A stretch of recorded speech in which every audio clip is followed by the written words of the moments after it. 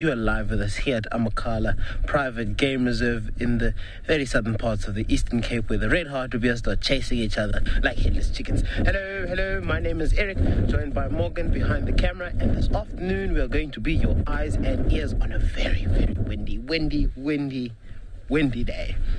Overcast, it's definitely much warmer than it was this morning. Thank goodness for that.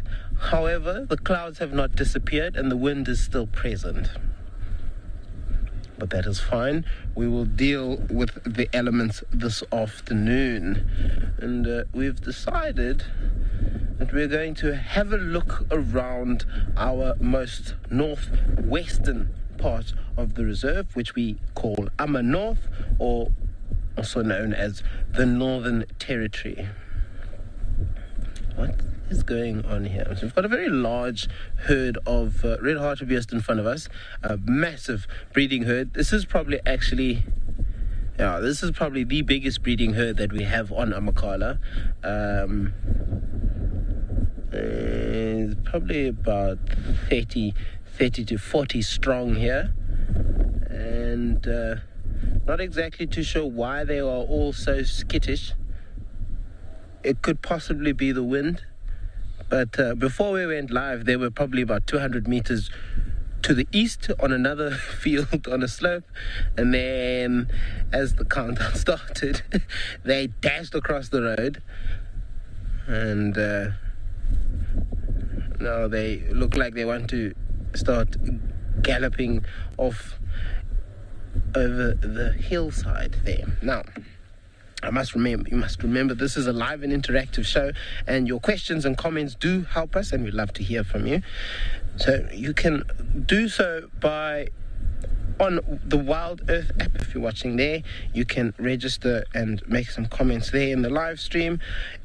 If that doesn't work, you can also use YouTube, where you can also get involved in the conversation and the action uh, in the comment section below there. Then, then there's always Twitter using the hashtag Wild Earth tag sign, and uh, oh, you can make some questions make some comments. Like I said, we do love to hear your questions and we love your comments. So please do get involved.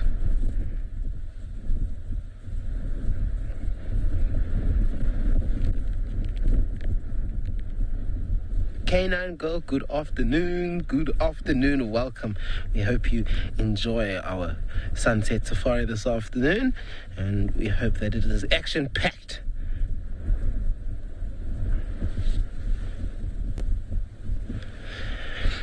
And uh, of course, we are not alone this afternoon. It is raining in Djuma.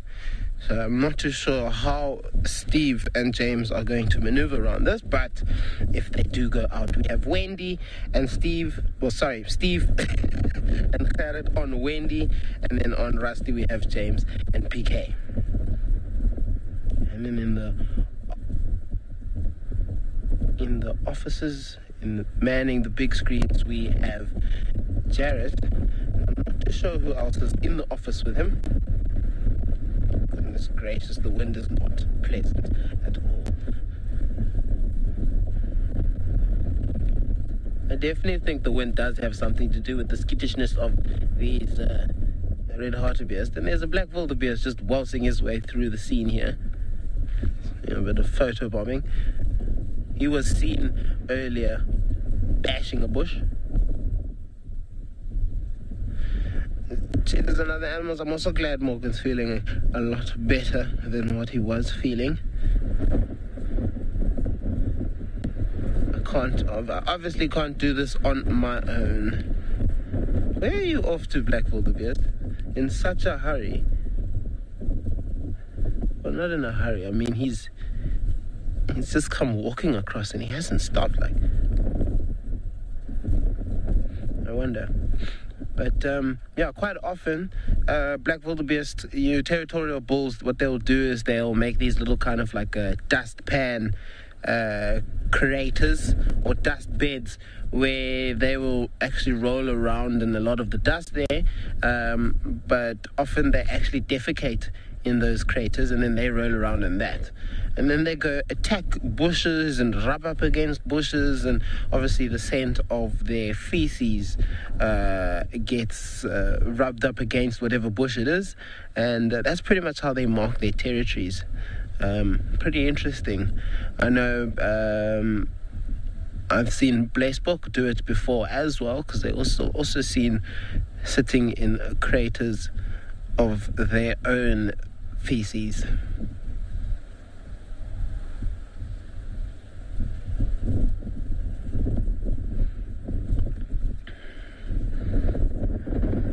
Now, these red hartebeest are all over the place today. They look like they've got a bit of a spring in their step, but you can also see that they're a bit uneasy.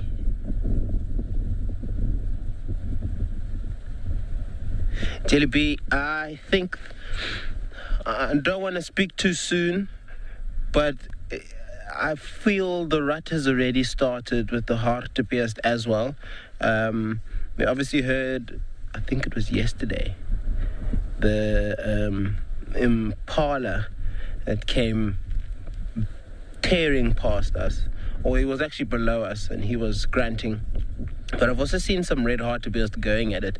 Um, constantly fighting with each other, and those will be the males. And then while we were watching some rhinos the other day, we also heard some red hartebeest not too far away that were also having a little bit of a tussle with each other. Um, only reason we know that is because we heard the sound. I mean, the sound of the horns hitting each other was very, very, very loud. It, um, yeah, I, I, I imagine because not all not all antelopes' horns are incredibly strong. You know, there are the, the, the odd males that will have a horn where one of the horns might be a little bit weaker than the other. And sometimes you can actually end up having unicorns. So, antelope with only one horn.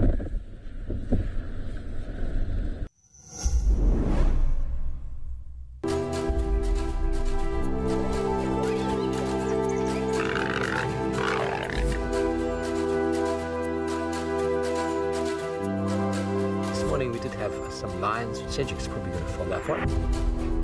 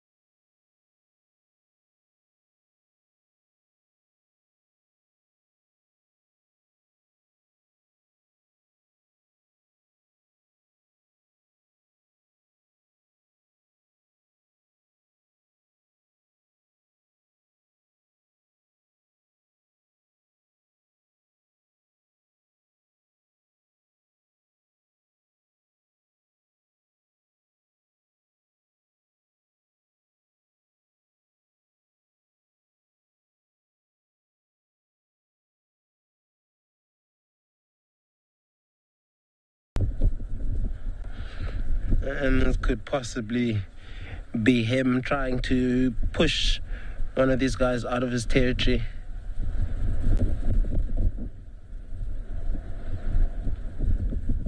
Helen, wow. So we're all in this together.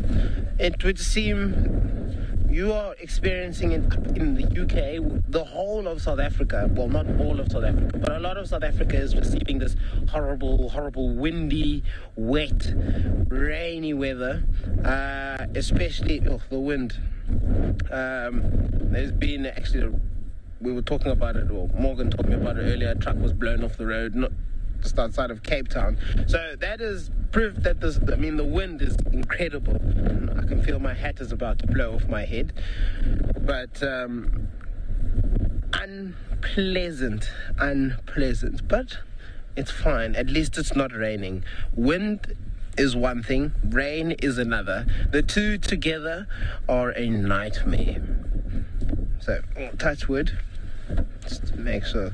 Because it is it was supposed to have rained a little bit today and it hasn't dropped a drop. So a little bit worried where this rain has got to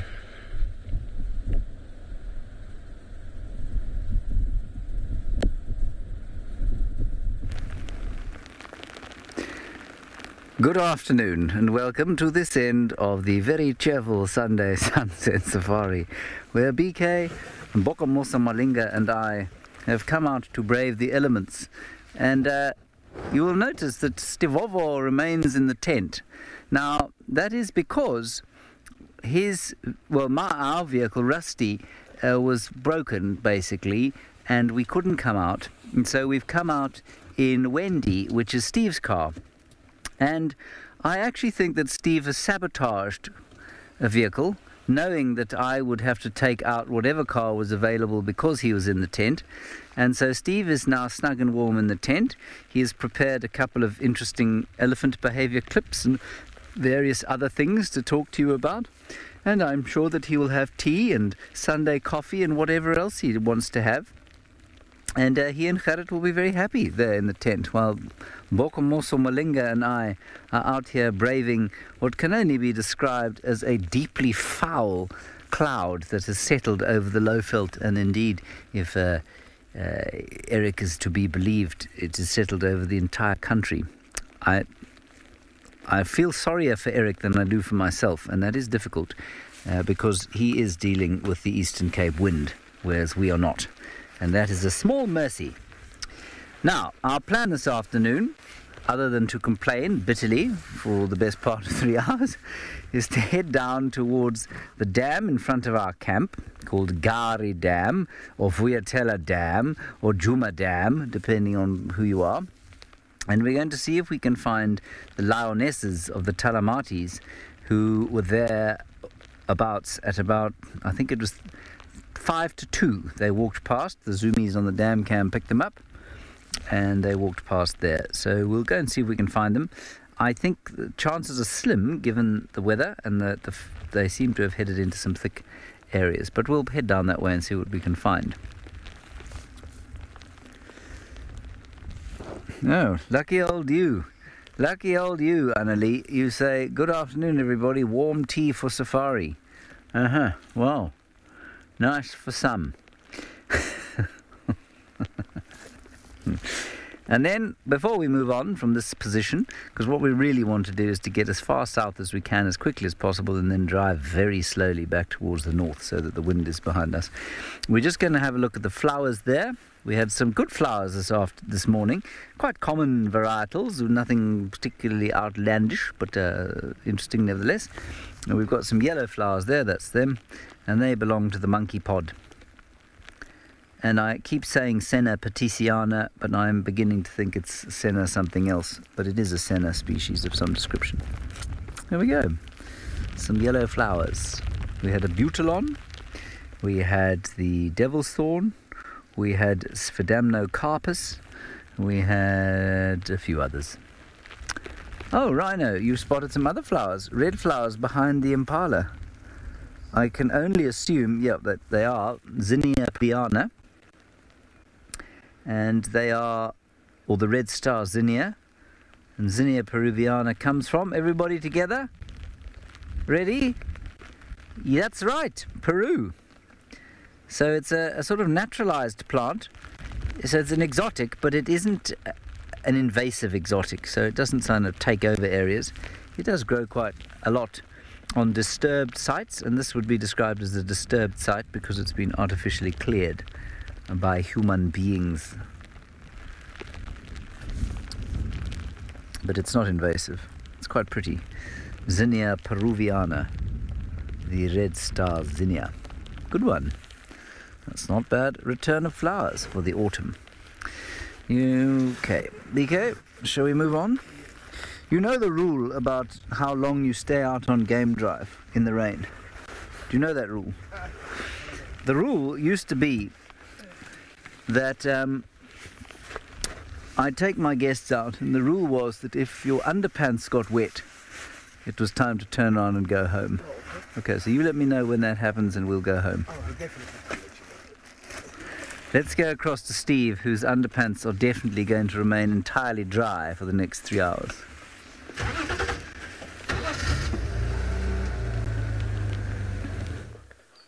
Thanks, James. Well, good afternoon. Good afternoon indeed. My underpants are going to stay dry. James, you could have asked me for my wet weather pants before you went out.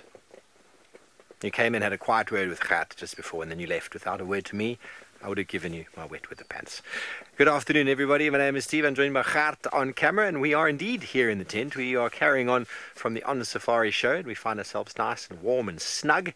Even though I've got my gumboots on, I was ready to go out and uh, delve into the weather. But uh, James, his vehicle is not performing, and so he's taken mine. I had no choice in the matter. It's fine.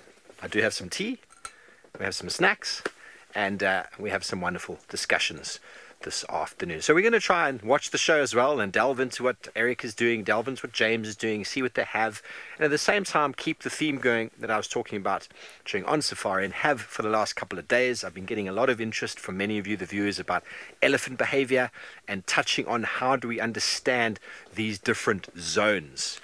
And um, on the On Safari show, right over here, I had a drawing which um, Dark Main Lover earlier said was a remarkable drawing. Thank you, Dark Main Lover. Now, essentially, on any given day, everybody, here is an elephant. Now, that could be an elephant bull, that could be a breeding herd, that could be a lion.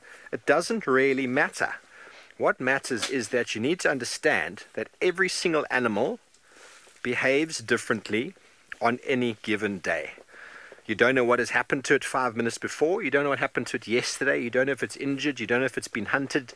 You don't know if it's hungry. You don't know if it's got babies. You don't know. So each situation needs to be handled in a way that is respectful for the animal and potentially, if you have people with you, respectful for the people that you have and is ethical in every single regard.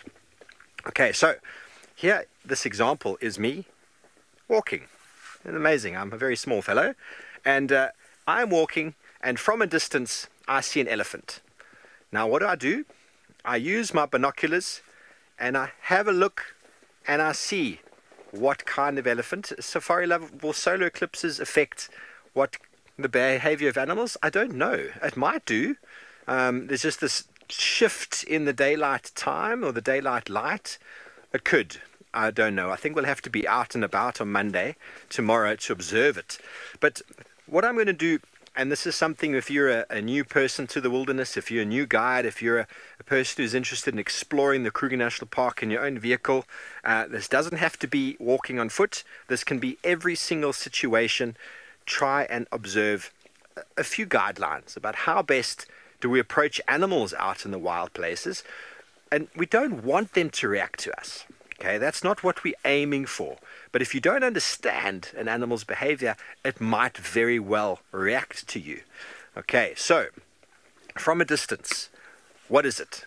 In this case, we've got an elephant bull. Okay, very good. I can see the elephant bull. What's going on with the wind direction? This is if I'm on foot specifically. What's going on with, with the, the, the landscape? Is it in the open? Is it dense vegetation? What are the characteristics of where I am? And uh, cool. From a distance, the animal is very, very relaxed. It doesn't even know that I'm here. But what's going to happen is as I drive closer or walk closer, you're going to hit a line. You're going to hit a line that is going to fluctuate depending on the day. And at that exact line, that animal is going to do something. Something is going to change in the animal's behavior, which is going to show that you've reached the alert zone. The animal's going to stop feeding, or it's going to lift its trunk, or its tail's going to go stiff. Something is going to change. The animal's become aware of you, and it's going, hang on, what's happening? Okay, now at this point, invariably in a vehicle, one foot, you stop and you observe. What does the animal do next? Now, if in two seconds, three seconds, ten seconds, the animal carries on feeding and the tail starts moving again and the head starts flapping and carries on eating, okay, the alert zone has been crossed and the animal's okay. Now you can continue on and you're going to hit a line in the ether that that animal is going to change its behavior once again. And that is essentially the animal indicating to you that you are coming too close. It's either going to lift its head up. I'm talking about elephants specifically. Its body language is going to change to the point where its body structure, the way it lifts its head, the way it lifts its trunk, the tail's going to go stiff. It might stop feeding. It might smash a branch. It my trumpet. At that point, that essentially is going to be a warning zone.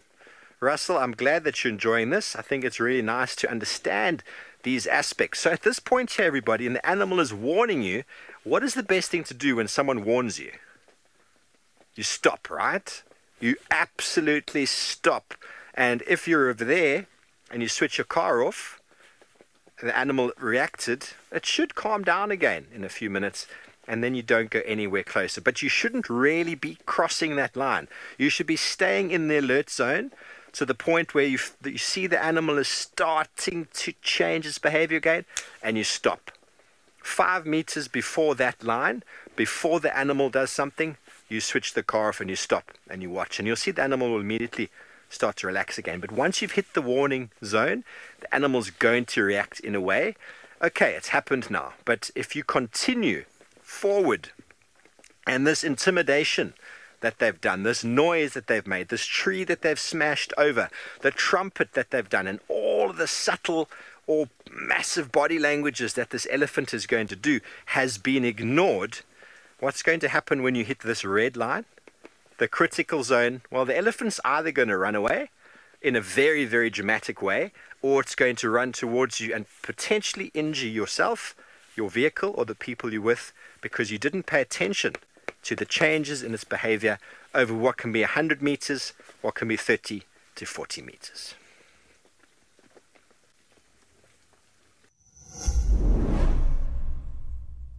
We have an exciting announcement.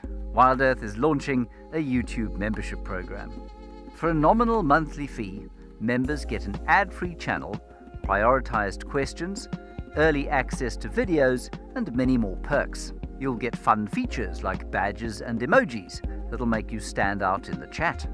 YouTube memberships will help us to continue with our mission of connecting people with nature while giving you access to lots of our amazing content.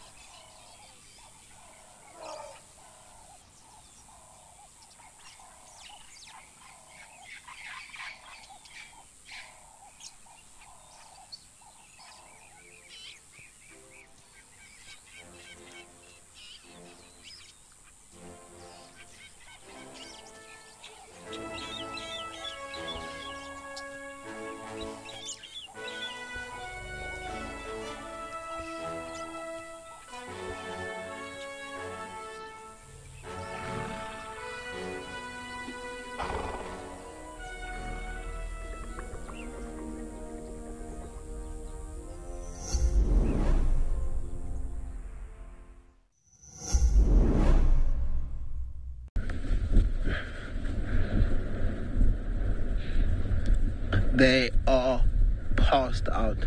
And you know, this is typical behavior for cheetahs on days like today, when the wind is so strong.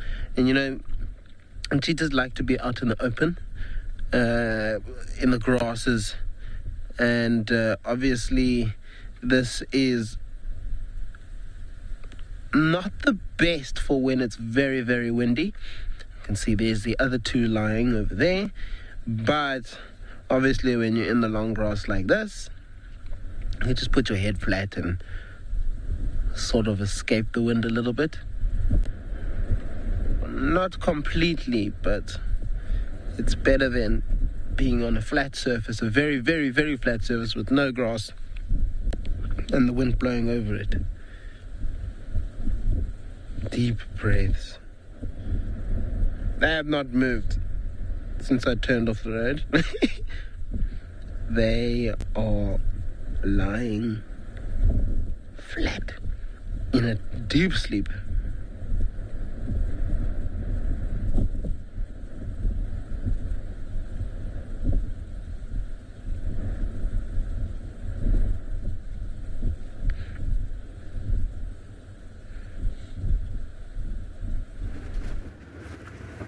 Well, oops. I'm glad that we have found the three amigos there at Amakhala. For those of you who just rejoined us, we have found the three amigos at Amakhala, but they are doing what any sensible human being or animal is doing in this weather. They are fast asleep, snuggling, staying warm.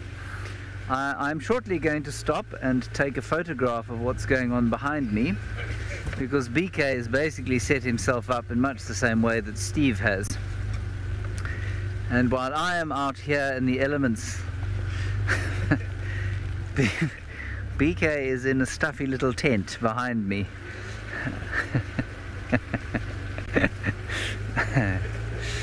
well, he has to suffer my driving, so I suppose that's that's small consolation for him. Hmm.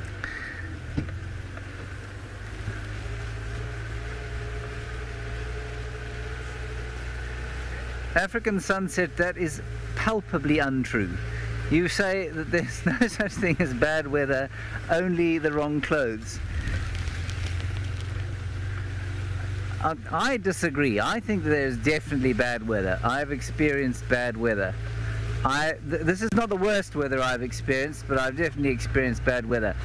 And I'll tell you this, African sunset, you're obviously not from South Africa if you say that, because the, you cannot buy the right clothes in South Africa. I, I would agree with you. I mean, my sister lives in England, and because it's generally foul there weather-wise, she goes she goes out rain or shine with a small baby, well not small, two-year-old, and they, they don't have a choice. If they want to go outside, they need to dress accordingly, and that's fine. They've got proper waterproof clothes boots, and all sorts of things that can cope with the elephant elements. You've got to sell your house if you want to buy that sort of clothing here in South Africa. Here we've got things like Drymax, which um, are dry for about three and a half milliseconds after you get into the rain. We have the ponchos that I described yesterday, smelling of rancid custard, and it was waterproof as tea bags. So I, I think maybe my attitude to that comment African sunshine is born of the fact that you cannot buy the right clothes in South Africa for when it's wet. And it is because our weather is generally so very good. And it means that we have a collective, collective amnesia. As soon as it goes from bad to good, we forget that it was ever bad and we forget how to compensate for bad weather. We have elephant tracks on the road, must be fresh because it's raining and they would have been wiped out if they were not fresh. They went up this road here, so I think we should follow.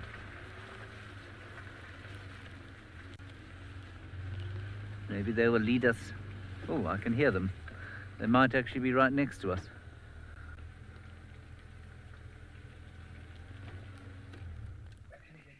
Did you hear them?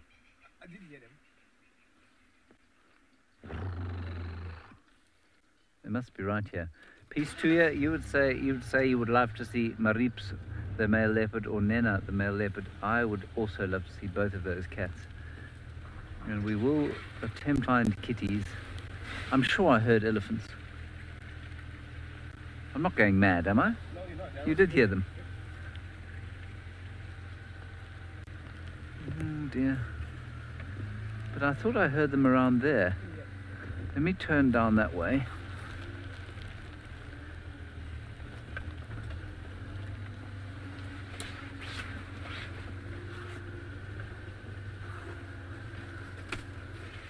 Yes, horrible. Important not to miss the first zone of behavior. I added another zone to the behaviors between death and critical. And that, that's the zone in which you utter expletives. BK, I feel like I'm going insane. De- we definitely heard them. But where? The tracks went up there, but I thought I heard them here. Let's just have a little listen.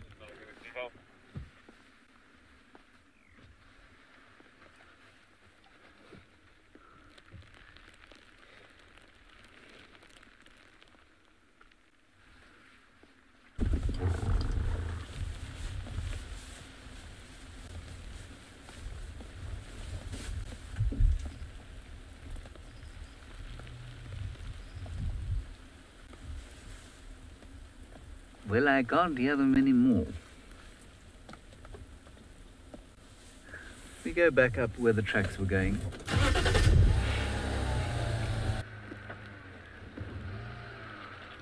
If they're nervous, they will go completely silent and hide from us, which is not nice of them.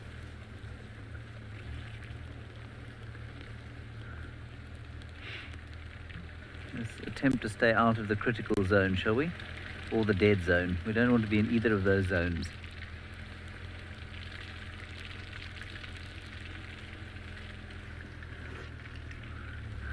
Jackie, darling, I don't think anthrax is particularly prolific amongst any species in South Africa at the moment. I don't think there's been an outbreak for some time.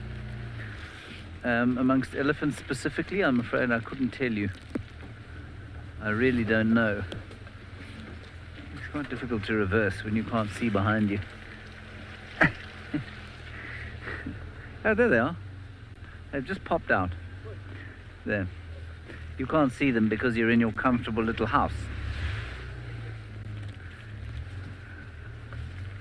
Good grief. Okay.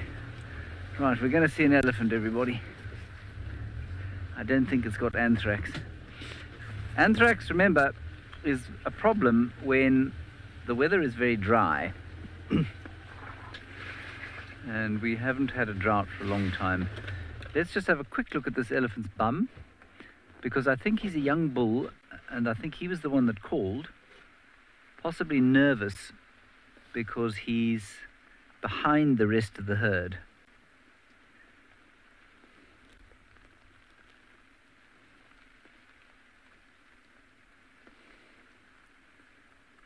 Now, I am going to tell you that if this enthusiasm of rain continues, we will have to pack this in after a while because we don't want to wet what equipment we have left.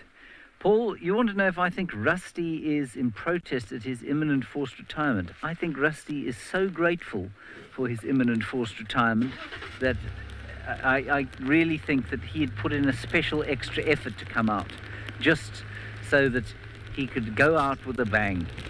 I'm interested that you call Rusty a he, because I also call Rusty a he, but I think you and me, Paul, might be might be in the minority there. You also call him a he. Yeah, Rusty's definitely a boy car. Wendy is a girl. There's our one elephant.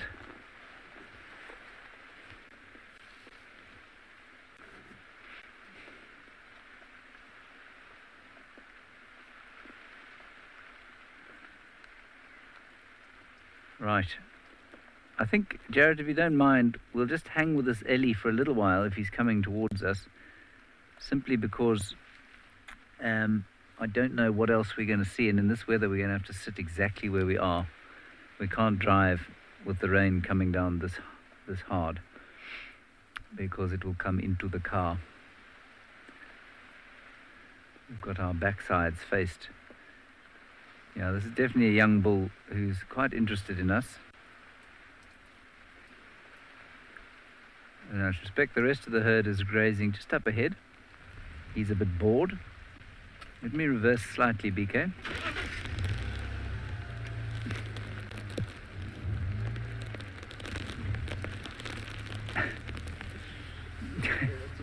Never too late. You want to know if they open their eyes wide when they're alert. Um, I don't think wider than normal. Never too late. Uh, Oh, jeez.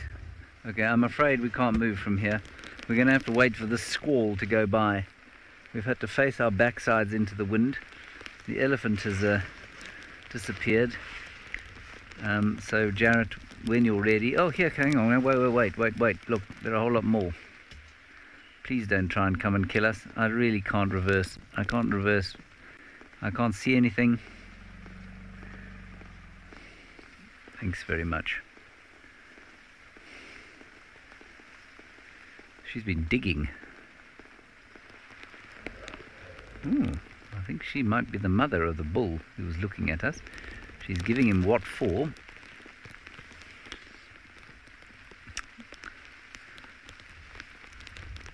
Hello, chaps.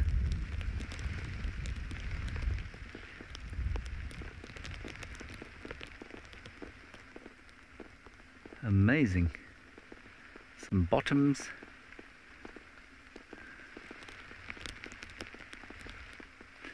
BK, you might win an award for this shot. Called Combretum with Elephant.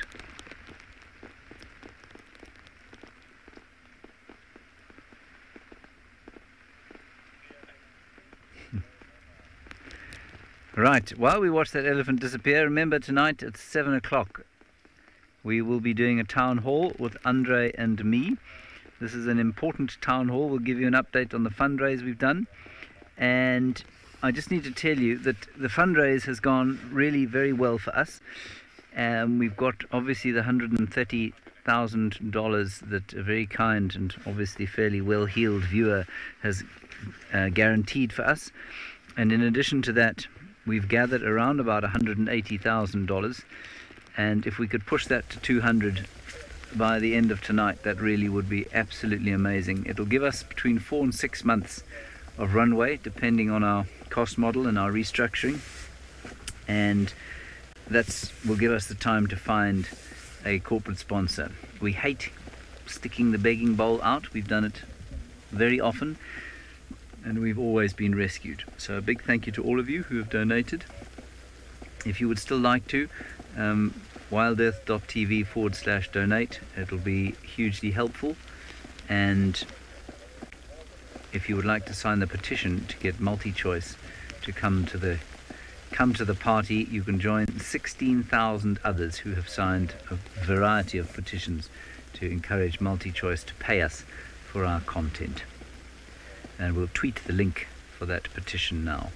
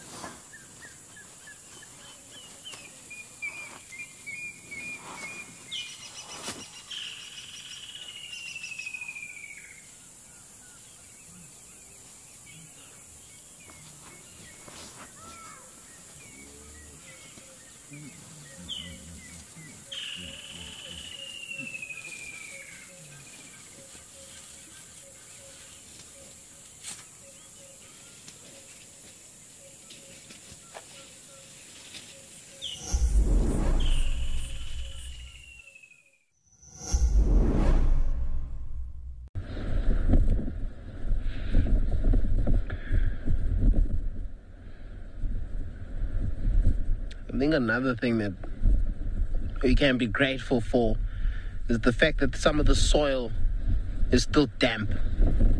So there's no real like dust dust in the air. That would be a big, big problem on a day like today. With the wind that we are having, there'd be dust everywhere. Um, it may actually sometimes disturb our sightings a little bit, but uh, we are doing fine at the moment. Now, those two that are in front of us over there that you can see, the the head of the one furthest away from us, that will be on the left hand side of the screen. I watched them put it in.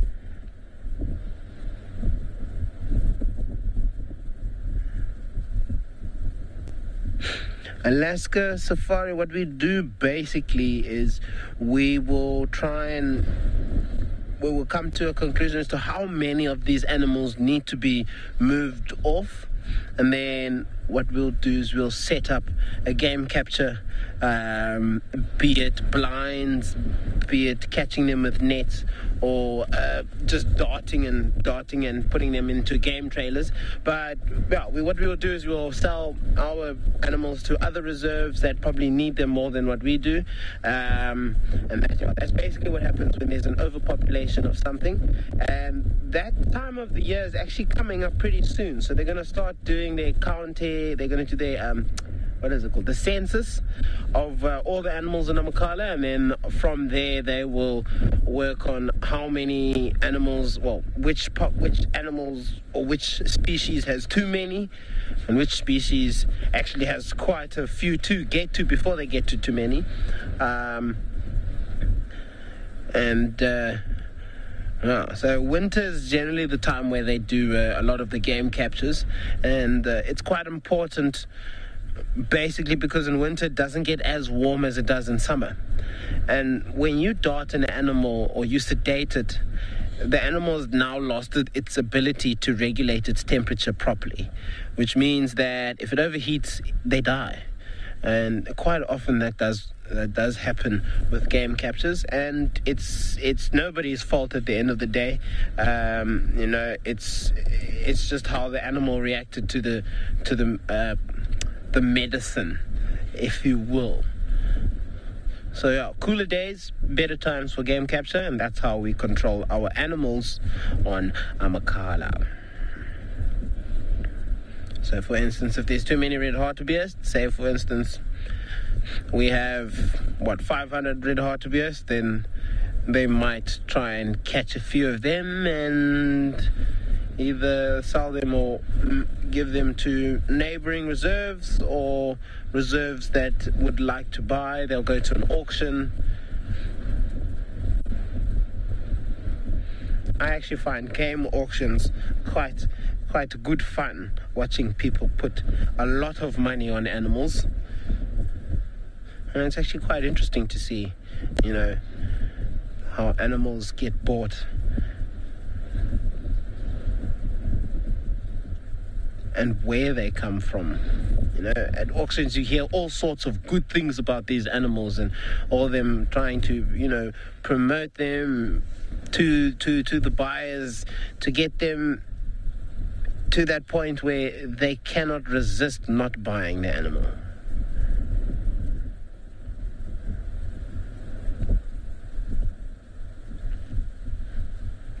Oh, a little bit of adjusting there. Now we can really see that bed. Oh, look at that. Oh, that's a big belly.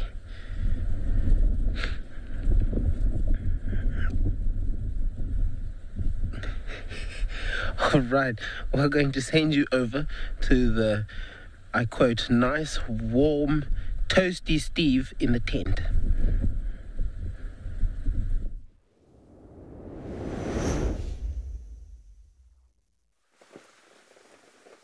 Warm and toasty. With some warm tea, indeed. Sorry, that was cheeky of me. Hello, everybody. Welcome back. We've just um, trying to investigate. There's a bit of a smell of, of, of burning plastic, which is never good when uh, you're in the wet. Well, I'm sure we'll be okay. So, anthrax. James has talked about anthrax before. Um, anthrax is a very common sort of disease bacteria that's found in the soil, and uh, it commonly affects domestic um, animals, sheep, goats, horses, and many, many wildlife. Um, it has been known to affect elephant. Um, we found dead elephant before that has been deduced that it was anthrax that killed them. But generally, it affects very heavily cloven hoofed animals such as kudu, impala, and the like. And uh, they reckon anthrax originated from Egypt to Mesopotamia uh, back in the day, ancient Egypt times. And they even reckon that anthrax was responsible for the fifth plague that wiped out all the domestic animals the sheep, the goats, the pigs, and the cows. So that's kind of like a thought. But anthrax is a spore that lives in the soil and uh, can be dug up, especially as James was talking about earlier, after very dry conditions, can live in the soil for quite some time. And when it gets released, it infects an animal, goes into their system, and is often transferred via their saliva. And if the animal gets fed upon, as well as if um, you mess with the carcass and you get it on your hands, and it can infect you quite badly. And it generally leads to quite a, a, an uncomfortable or what you'd probably think of as a savage death in an animal. Um, quite often, what the animal does is that it, it, it dies, but its whole body spasms as it kicks and it kicks and its whole neck goes backwards and you'll find on the ground this is quite a characteristic feature because when you find a dead animal it's very important that you know there's certain symptoms okay cool it's a dead animal try not to touch it. If you find an animal that's been thrashing, legs have been thrashing on the ground, you can see the disturbance, and the neck is thrown back almost as if the spinal cord wants to break, and there's the discharge out of the nose. That is a very, very good telltale sign that there is anthrax.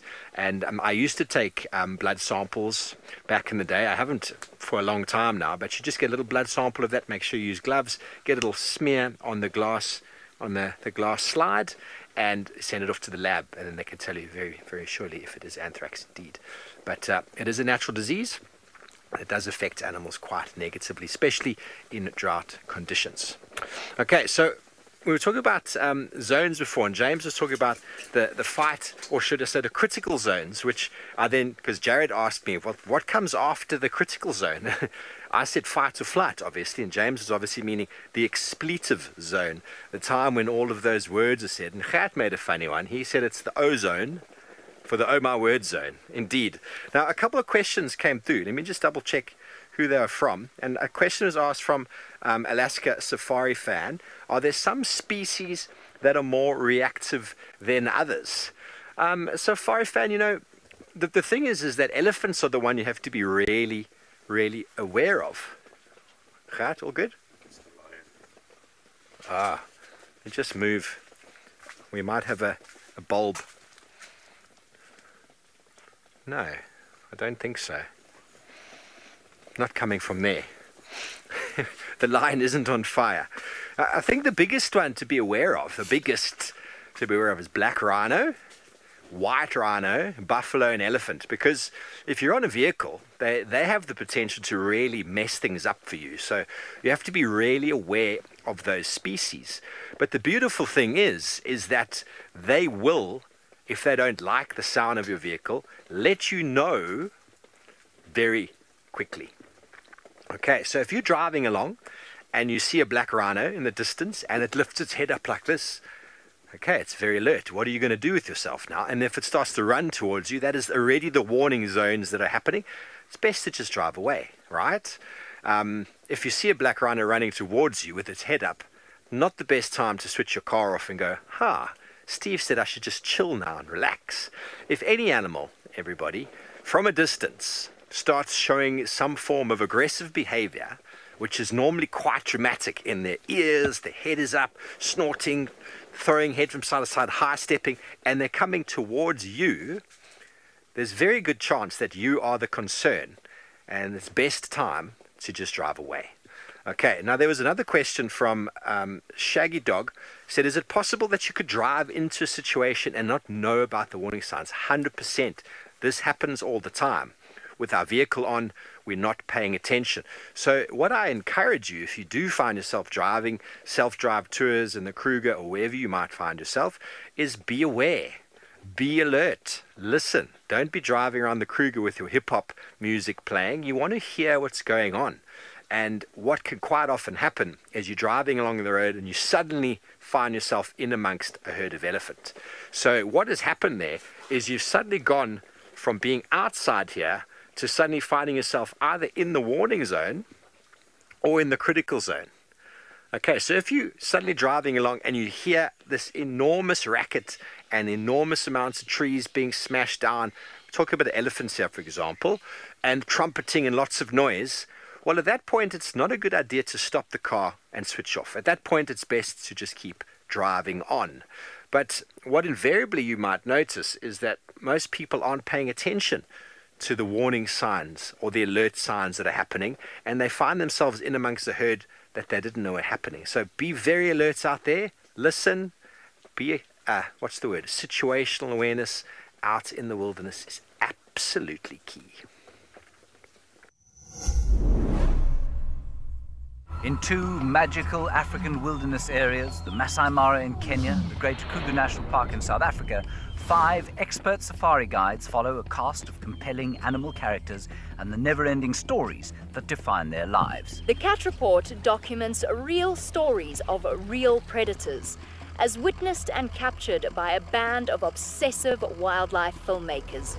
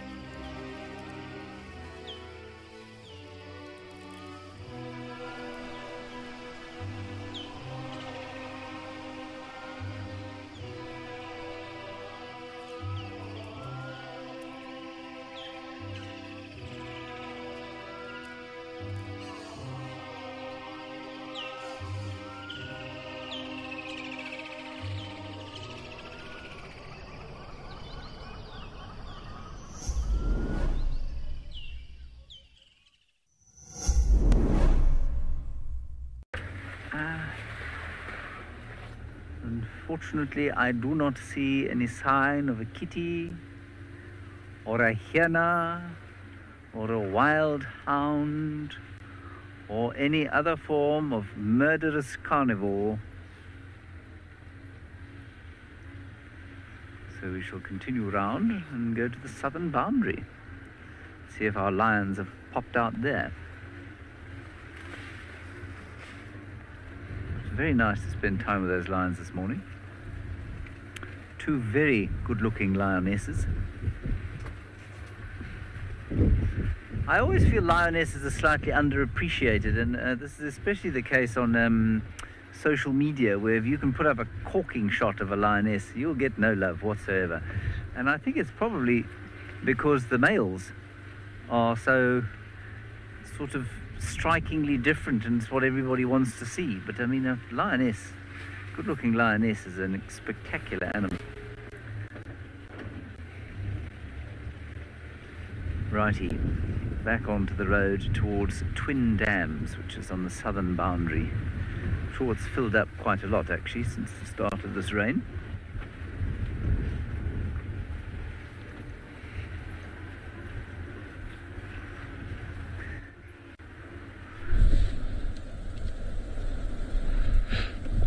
Miss Cheetah, I'm being very cheeky, you know. When we're not broadcasting, the heads are up they're looking around, they're looking at us, you know. But as soon as the camera is pointed at them, boom, there goes their head down, fast asleep again. But it's fine, we'll catch them out one in a bit. We'll catch one of them out. They look like there was about to be a little bit of movement there, but maybe that was just the, uh, the shifting of a leg.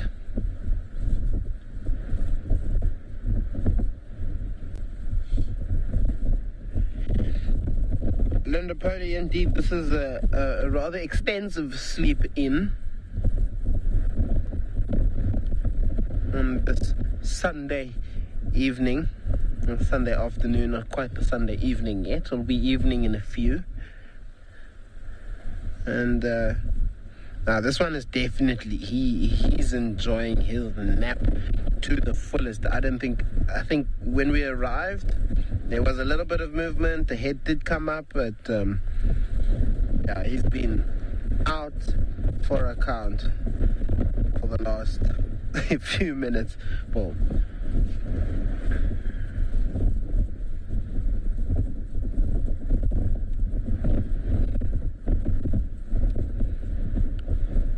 shame. I, I don't know. I, I think if I was a cheetah, I think I might want to move to behind a bush, maybe.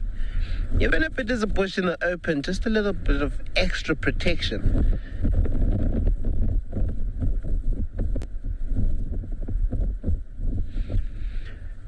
Canine Girl, uh, if there's a need for the vet to come and have a look, um, then the ecology team will send will will call for the vet. But you know, the way that these guys are operating at the moment, you know, and they're walking, it, there isn't really a need.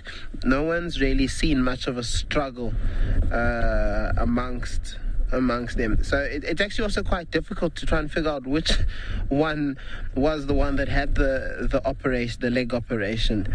Um, you know, it's healed so incredibly well. There's only a slight, minor, minor little bit of a limp.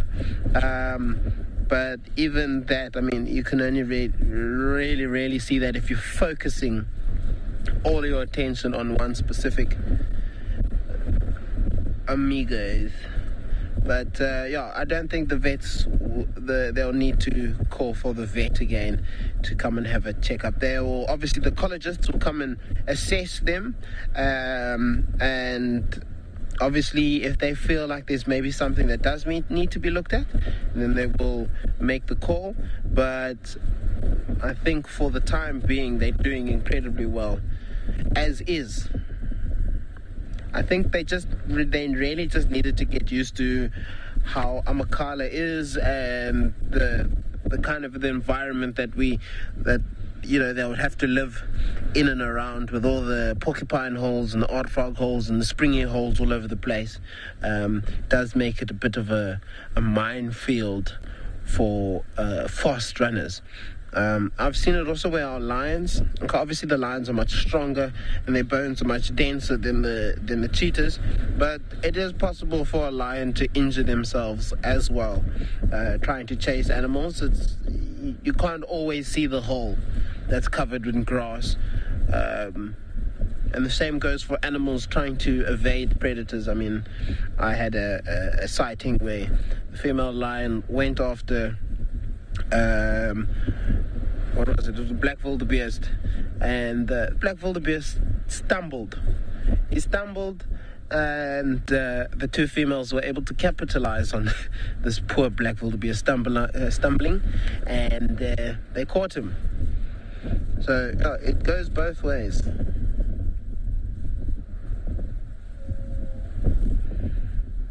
You may hear a vehicle, you may hear some other voices as uh, we no longer have the sighting all to ourselves. Hello, look at this, you've got the heads up.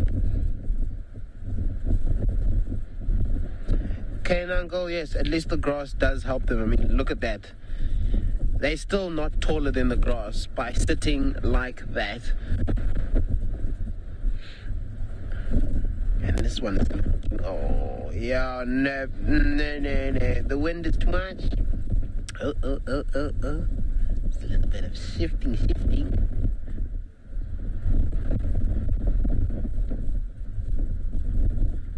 Staring off into the distance. Oh, these three boys are in amazing condition.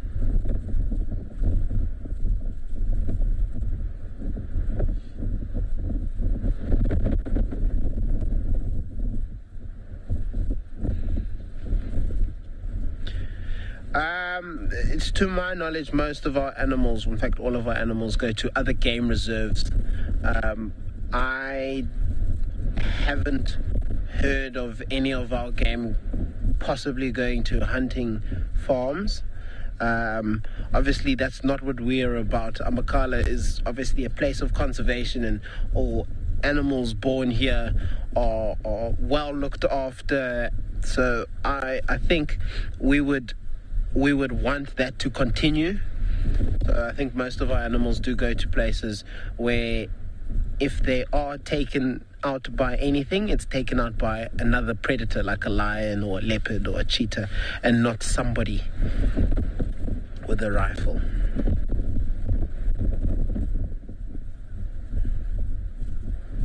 Come on, guys. You, you, you mean uh, I mean, I understand. I understand. This is definitely bad weather, but I want to see the faces. You got beautiful faces. Oh, Esther, incredibly, incredibly smart.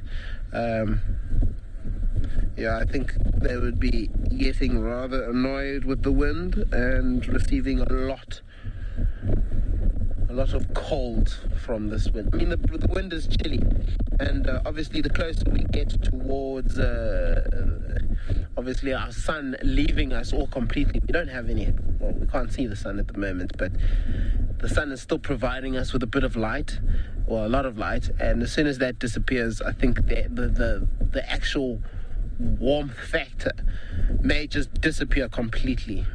I mean, it's there is a tiny little bit of a warmth factor here, but it's not much. Have a look at those grumpy, grumpy clouds. Now, I have no problem with those clouds over there. Those look like rain clouds. You're more than welcome to rain there as much as you like. Just continue going off towards the left. You can come back later tonight.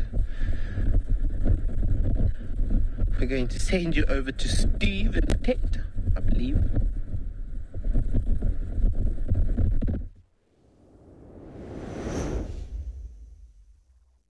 That the wind blows away the clouds, at least then when you have some sunshine. It'll be nice for you. So, regular kuna, you wanted to know, is anthrax present in Kenya? It is. It's regarded as one of the most important zoonotic diseases that we have up there and there is health concerns about it, but it does affect the, the trade in meat. Um, it is actually an endemic disease to sub Saharan Africa. So it occurs naturally in the landscape, it occurs naturally in wildlife populations, and it does affect wildlife, but it often affects the weak individuals. It doesn't just wipe out populations. Um, the reason why it wiped out in the plague and domesticated livestock is they don't have the years and years and years of experience of dealing with that disease. So, definitely in the plague, as spoke about in the Bible, the fifth plague would have wiped out all of those domesticated livestock because they'd never over centuries evolved to deal with them. So, a natural disease on the African sub Saharan continent, um, and most animals. Some I deal with it. You will get outbreaks will affect a lot more than normal years, but it doesn't happen every year. And those that survive move on to the next season. Okay, so I'm going to show you a little clip over here. I don't think I've actually shown a clip yet, but on the, topic of elephants and predators, I was in Madikwe last year and uh, had a wonderful moment with this lioness. Is it playing? There we go. You see there's a lioness sitting on the log here. Some rhinos coming in to drink, and this elephant bull, not even knowing she was there, decides to take interest in the lions that were just chilling in the shade having a good time they were. But here he goes. See the lions are moving off. What does the elephant do? they move off a bit quicker, and he now picks up his pace because it has worked. His intimidation has worked. So that is why when we we talk about um, being on foot or being in a car, and an elephant starts walking towards you. I mean, he wasn't showing any aggression, but he was going, "Okay, I'm going over there." And what do most animals, including less dominant elephants, do? They turn away and they walk away. They move away. Um, and all animals, from an elephant like that, move away. And elephants are, you know, generally quite short-sighted. They smell and they hear very well. That's why he didn't even see that other lioness sitting on the log. But he knew the lions were there, and he's like, I'm going to walk over there and chase them. And what did the lions do? They obliged him. They got up and moved. And then as soon as they moved even quicker, he chased them. Now, thankfully, lions are quite quick. Um, if we were on foot or if we were on a vehicle and an elephant started walking towards us, what do you what do people think they should do? Well, first of all, you looked at that landscape around. There's plenty of open area. The elephant could go there, he could go there. He doesn't have to walk on that line. So if you stand your ground, uh, he's not showing aggression. He's just showing, I'm big, and he's walking towards them. There was nothing untoward about his behavior and then they move to oh his confidence builds so if you're in a vehicle and an elephant starts walking up to you like that and you start your car and you start reversing what's he going to do he's going to follow you if you reverse quicker he's going to come after you even quicker it becomes a game for him so when you park there an elephant starts walking towards you. The car is off. There hasn't been any negative behavior. He walks up. He's curious. You start coming a bit closer and you don't move. If anything you can say what are you doing? Speak to him as if you would to someone else you're disagreeing with, or like, why are you coming towards me? Very calmly. You don't have to speak. And then he will suddenly realize that they're not moving away. Mm, he's going to start playing, going to start doing something, and he'll probably try and walk around you without losing face, without showing that he's back down in any way. But the last thing you want to do is drive away fast because he's definitely going to chase you.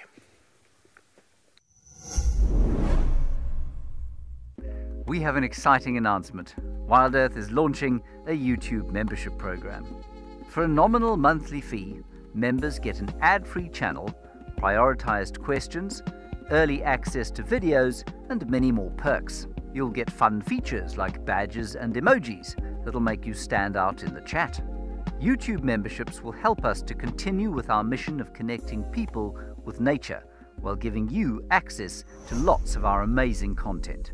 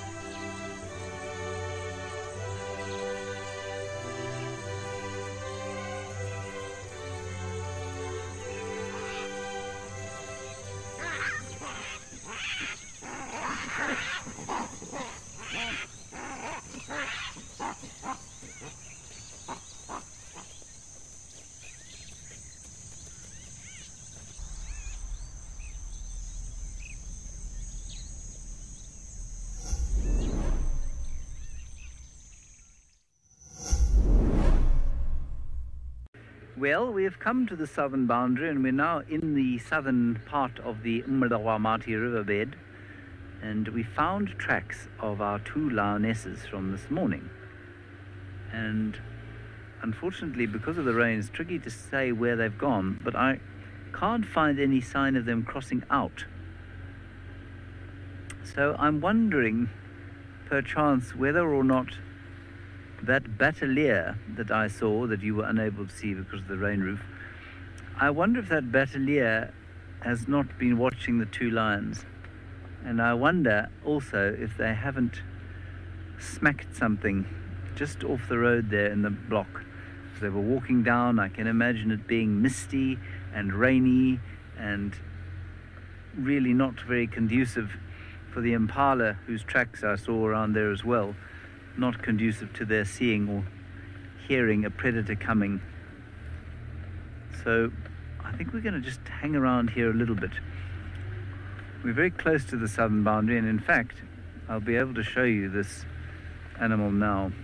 Not this animal, this bird. You see the bird there, BK? I know it's 78 miles off, but at least at this angle we can have a look at it. Jill on the hill, what was that? That is not the same bird.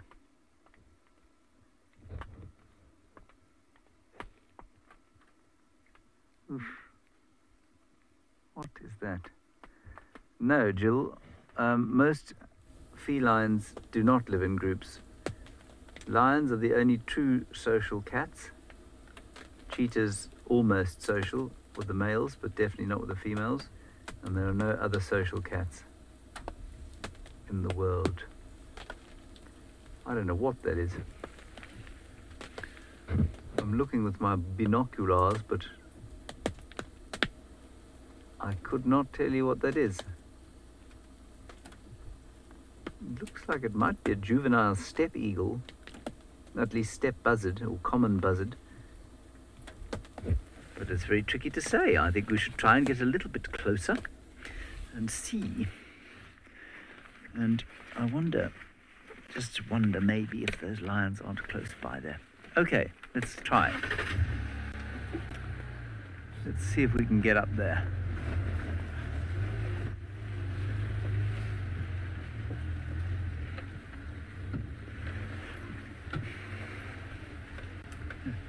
Shaggy Dog, you want to know if it'll help if American viewers sign the petition?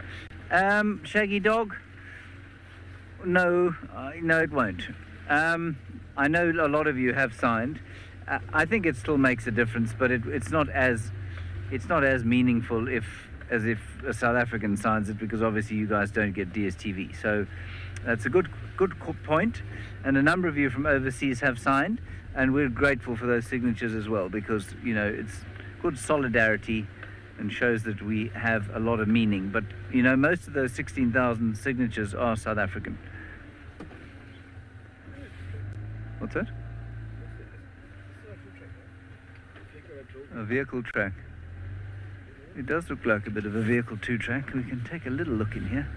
I don't think anybody would have driven in here though. Yes. GC, you know, you say that, and you say it at the right time that I shouldn't get stuck because the last time I was stuck, in fact, the, la- the last three times I was stuck was with poor BK. and when was that? It must have been November. The leopard. Quite by chance, but there's a leopard there. I'm pretty sure it's Mawati. Well spotted, BK. Yeah. It's the beastly ghost, Mawati. Just stop, please. Do us a solid. You know what? It wasn't a lioness's tracks I saw. It was a male leopard that had been rained on. That's exactly what we saw. Now, I long for the days of Tingana, who would have just popped his head up and given us uh, another two hours with him. This guy, there he goes. We're going to be very lucky to get more than 10 seconds with him. especially if I continue to drive like this.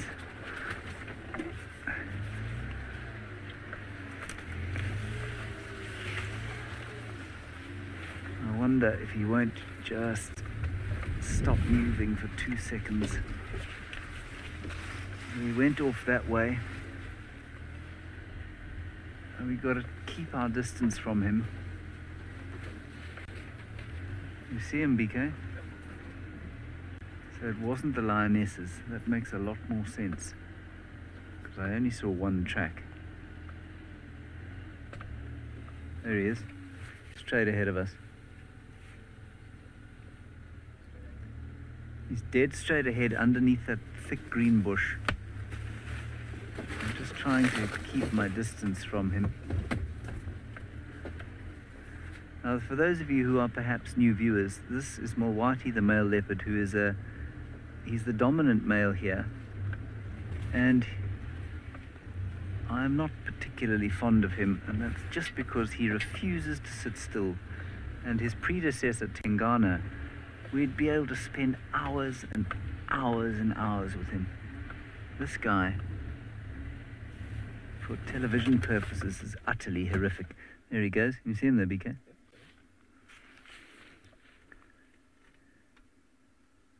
And I mean, this is quite a good sighting of him. He just doesn't like being seen. Which is, I mean, that's very leopardish, of course. Thankfully, his offspring don't seem to share his fear of vehicles, which is good.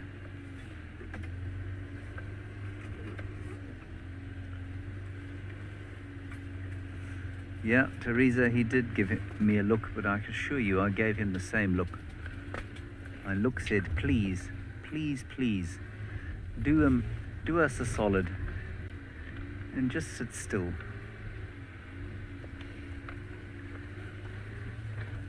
So I'm trying to move parallel with him. There I can see him. As opposed to behind him, so that he doesn't feel like he's being followed. Maybe, just maybe, he'll stop. But I don't think he will, you know, I think as long as we're here, I think he's just going to keep going. I've had two good sightings of him. One when he was mating, and one when he had a kill. And in fact, one when he was chasing. Who was he chasing? I think he was chasing Maribs. But other than that, just been hopeless. Oh well, at least we got a look at him, right? Oh dear. It also doesn't help when I drive over a stump. Go kapong pong pong pong.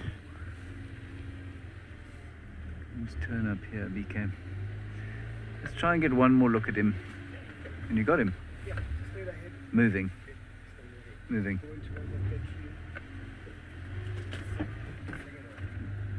B, leopard crawl behind Mulwati. I would. The thing is, Julie B, it's just that I'm going to get wet if I do that. BK can see him.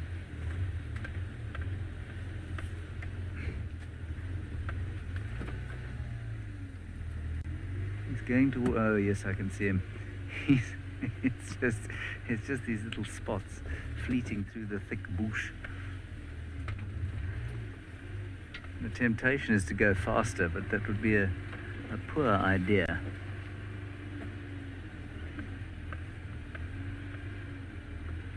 We're about 30 or 40 meters. There he is. Oh, look at that.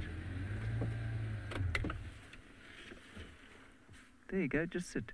Just sit. Sit. Sit. Sit. Relax. We can't see you. Just relax. Sit down. Take a chill Sunday afternoon. Come and climb into a tree.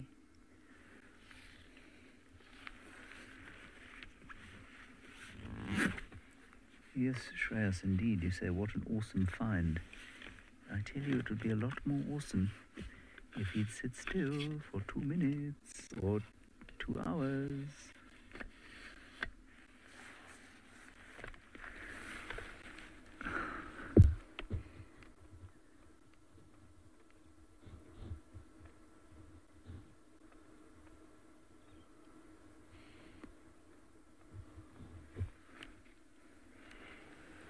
Desperately to see if I can get a photograph of him because there we go. There. Let's see where he goes.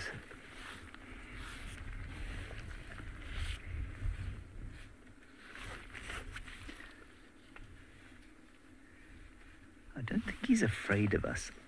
I just think that he is so leopardish. He just doesn't want to be around us.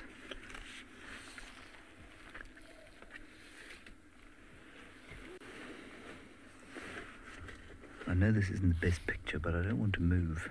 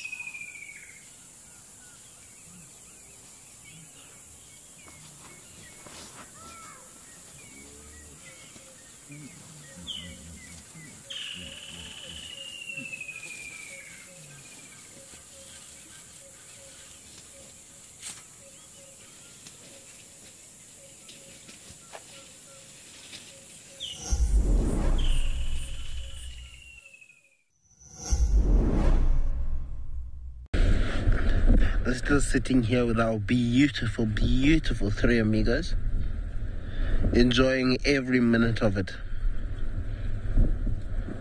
Look at that gorgeous, gorgeous boy over there. And put his head down. Not sleeping, just resting, looking around every now and then, you know. They are in a safe area, but they don't. Well, I'm sure that they do know that this is pretty much a safe area, but they're still on the lookout for any form of threat. Obviously, we know lions do not tolerate cheetah in their vicinity. And that vicinity is the whole of Amakala. And I'm pretty sure, well, it, they were, yeah, they haven't been up Mm, sure.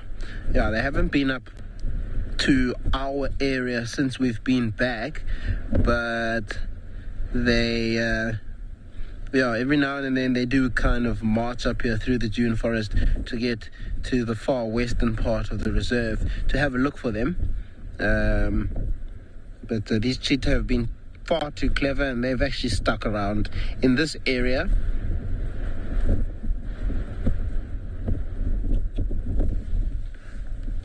Elizabeth, good gracious, I feel like a kite. You know, the wind is blowing, and it's it's not just like constantly blowing. It blows, blows, and all of a sudden there's this massive gust which pushes half the car over and then comes back. Um, so it's it's like it's non-stop big gusts of wind that are really doing it, but uh, majority of the time it's just constant wind.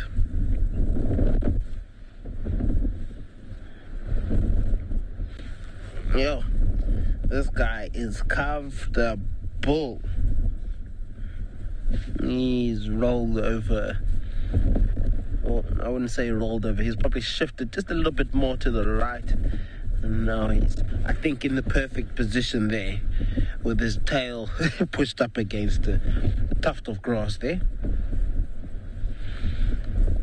And this is pretty cool. You mean look at the spots on his tail compared to the spots on his body.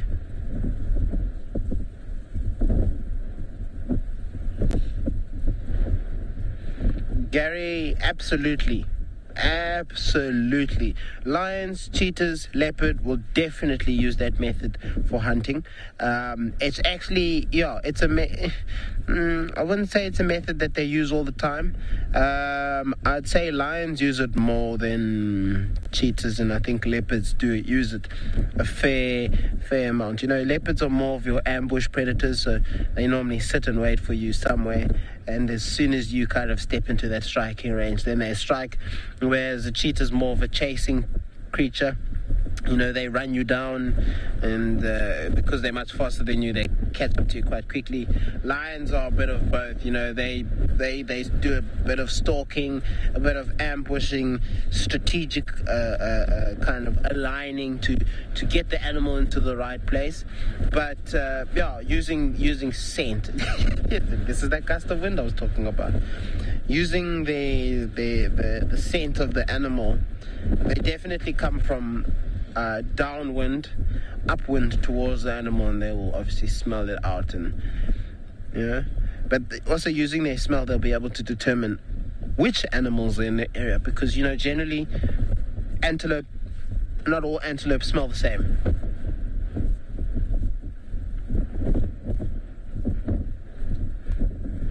Right, we're going to take you to watch a video of uh, the difference between cheetahs and leopards. This is pretty cool. Have a look. The ultimate triple threat versus an iconic specialist.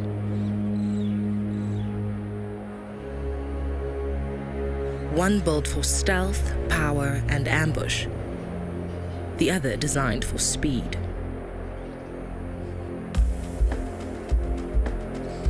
Cheetah decorated with black spots. The leopard with copper rosettes.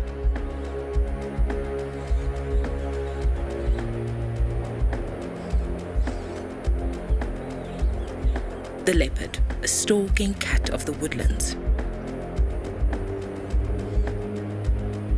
The cheetah, a coursing cat of the plains.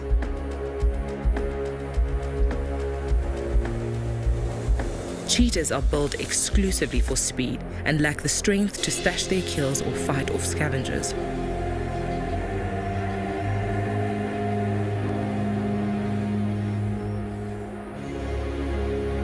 While leopards are strong and agile enough to hoist their kills away from thieving lions and hyenas,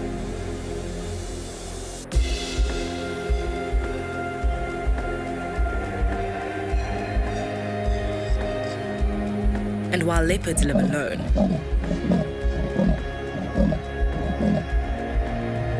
cheetah often find comfort in the company and protection of siblings.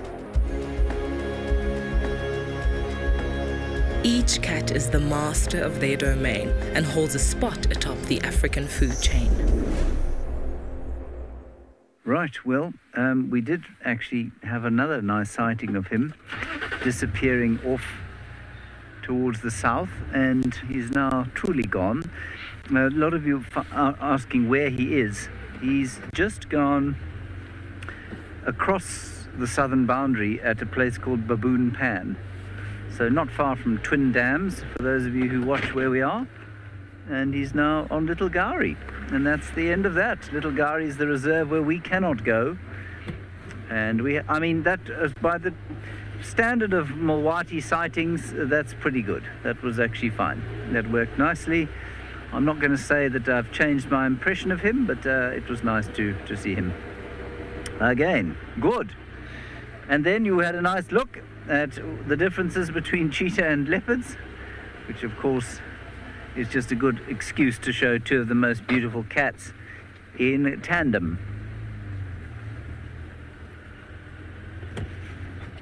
Catterwall, I certainly can't do that for you in public. I did it once, and the vitriol I received on social media was so swift, so aggressive, so threatening, and so terrifying that I will never ever again in public cast any aspersions on the beauty of any leopard. I'm not even going to. I mean, the incident has left left me with such post-traumatic stress that I, I, I can't even tell you what about the incident.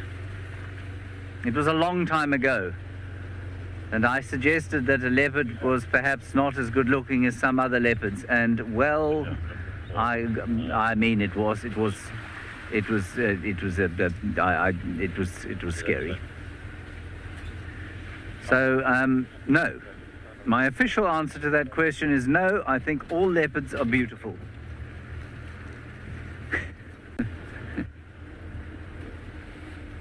Please don't ever ask me that again.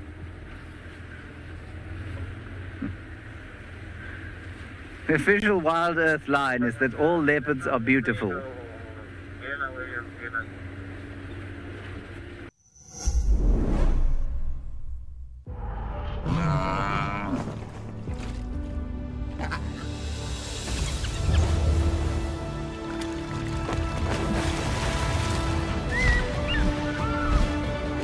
Experience captivating wildlife documentaries showcasing incredible animal behavior for free by visiting lionmountain.tv or downloading the app, accessible on both Apple and Android platforms.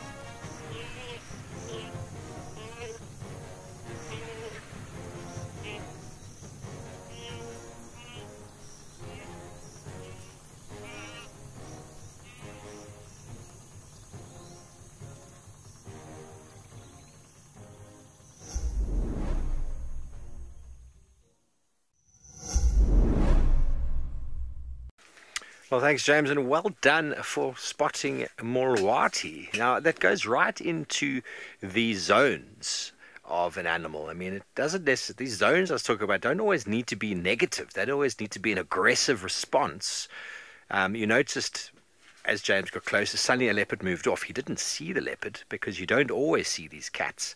But if that cat was relaxed, it would have allowed him to come closer and closer and closer. But Moati's got very different alert and uh, warning zones to everybody else. And when he's not feeling 100% relaxed, which is normally every day, or when it is after dark, he normally is quite relaxed, then his space is quite far. But as you saw, James is keeping space, he was staying quite far behind him. And then when he did have a long distance visual, he could view him quite alright without Mawati really behaving in any way. So that is the same thing about warning signs with regards to distance and all of that. So you don't always have to get into a critical zone with an animal. Some animals are not relaxed at all and they're going to move away from you from a distance. So I've got a, a clip here that uh, I'm not sure if it was with Gert, but um, I was in Pridelands in the the eastern side of Pridelands. It's a property called Boston, and I'm going to talk over the clip a little bit. Um, came across a herd of elephant in the road, and just have a look at the behaviour here. There's a young bull stepping in front of us here. He does a bit of a kick of the leg. It's a little bit uncertain of like what's going on. Who are these people here? But notice the rest of the herd. The tails are flicking, the tails are wagging. There's some play in the background. Um, there's some sort of feeding happening. But this one closest to us is not 100% certain about what's going on. Not very confident. But yet the tail is quite relaxed. The rest of the herd is not reacting in any way whatsoever. Sorry about the wind noise on my microphone there as well. Um, and so you've always got to, when you find a herd like this, pay attention to the biggest females. Uh, and where are the youngsters? Sorry about the microphone there. Let me see if I can turn that off maybe. I'm sure Jared will. Oh, sorry about that. Now, have a look how youngsters are materializing. This one who's on the right, who's closest to us, is, is sort of testing the grass, but is not actually grabbing the grass. Now a bit of dust in the face, sort of a, a comforting, comforting strategy. And the herd is coming closer and closer. Look at how they're coming closer and closer towards us. There hasn't been any change in behavior really. There's a lot of young boys there. Now these two on the right are actually goading each other. The one's going, What do you mean? Why are you concerned about this vehicle over here. I mean, really? then he's like, ah, oh, but I wasn't really concerned. I just, you know, I wasn't sure if I could go closer. But here they are in the open, enjoying themselves, and this other youngsters being a little bit more brave. See how he's kicking his foot like that? Jasmine, you know, being on foot can often be quite a different story. But, you know, we're talking about on the vehicle for now a breeding herd of elephant like this, you wouldn't at all try and approach them on foot in the open like this. You'd always try and have some form of cover. You'd always try and have some form of elevation. And essentially, with a breeding herd, when you're on foot, you don't even want them to know that you're there. You want to view them and leave. So, this is all very much vehicle based right now. So, you can see all of these boys on the right. They're very curious about what's going on. But there's a female on the far left. She's a female, she's not concerned, and these boys will come as close to us as they see fit. Maybe feeding, playing with the sand. These sort of sightings you should just enjoy. Film, breathe. There's no negative behavior happening here at all. Babies in the open, a medium sized cow over there, or a big cow there, she's very, very relaxed and my finger pointing at something, I'm not quite sure. But the baby, look at the little one over there. Oh, you've just got to, here we go. He's, now he's very brave. Now he's showing all the signs of an elephant who's fully alert. Looking down the nose. Look how big he makes himself. The tail is stiff. Walking sideways. Now, when a big female does that to you, then you must be very aware of what's about to happen next. But after all of what has happened after all of that behavior of the elephants being there doing their thing, the females being relaxed, only then towards the end a young male does that to you, enjoy it. There's absolutely no negative response happening. But if you came along and you found a herd and immediately one of the females did that. She looked up like this, the ears up, the head up, and the tail. And you may be coming along the road and you see them. Maybe switch the car off before you get too close. Or if they're far off the road and they're coming, or, you're driving past and they do that, rather just keep going. Uh, there's no need to cause them to react anymore. But if you're driving along and they're all sort of hanging about doing their thing, switch the car off, spend some time there. When they start to relax again, or if they continue to relax, you can go a little bit closer. But as soon as you see a female doing what that bull did at the end there, it's best to either leave the scene or to do absolutely nothing with regards to starting your car or causing them to react in any way. Okay, well, hopefully Eric's cheetahs are reacting or getting up and doing something shortly. The wind is still pumping in Amakala. Let's go catch up with the boys down there.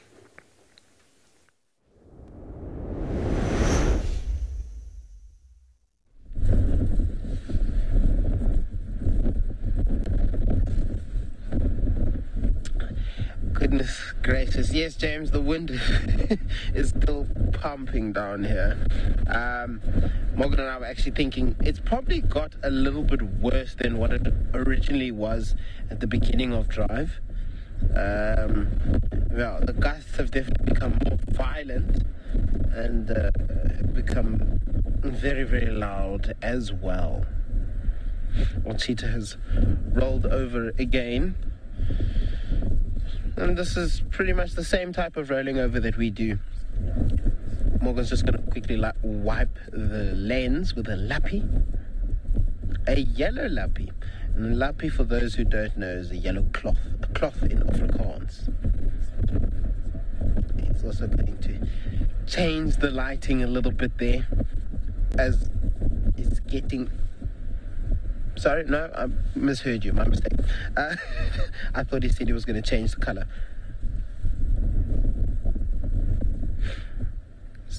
Cecile, uh, I'm not actually too sure what the plan is for these three amigos and uh, the possible chance of them producing offspring. Um, uh, I know, you know, obviously we did have that female and then she died. Um, but there was also talk of um, one of the amigos, or all three of them, going across to Amma North or that area where Pumalela is and uh, dropping them off there in the hopes that maybe they connect with Pumalela and are able to maybe mate with her and produce even more offspring. Um, but uh, we're not actually too sure but uh, it's it's yeah i'm not too sure. But there is also there is talk of joining majority well obviously this is this part of the reserve is joined with the main part of the reserve uh, by a tunnel. I mean any any of the animals can go through if they really really want to. The fact is that they don't. Um, they can see the light on the other side but they don't know whether they can go through. Um, and then obviously to join Amma North with the main reserve um, and obviously Amma North is where Pumalela is so there'll be a time where she'll possibly be able to cross over and they'll be able to cross over. So this could be quite exciting for for Amakala and uh, you know allowing our animals now to walk everywhere wherever they feel fit to but I haven't heard any talk of uh, introducing a new female cheetah to the reserve.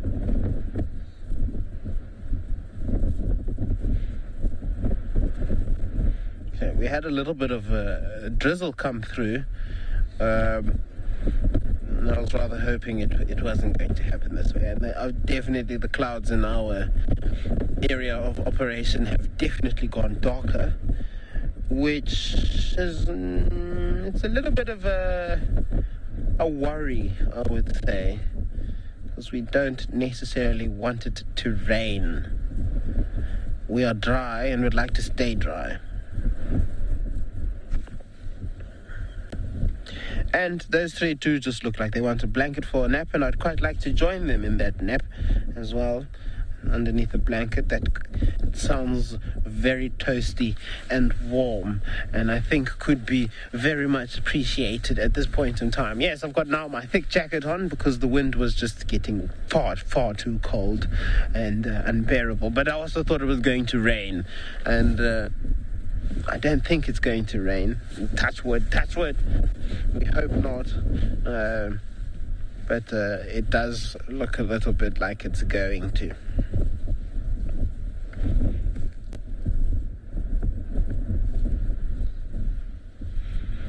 Look at that white belly. Uh, One thing I've noticed the cheetah, and I pointed it out in the earlier in the drive, was the spots on the tail are much bigger much bigger. They're almost like twice as big, almost three times as big as the the spots that you'll find on the back and on the, the side of the animal. All right, we're going to send you over to James with his animals on the move.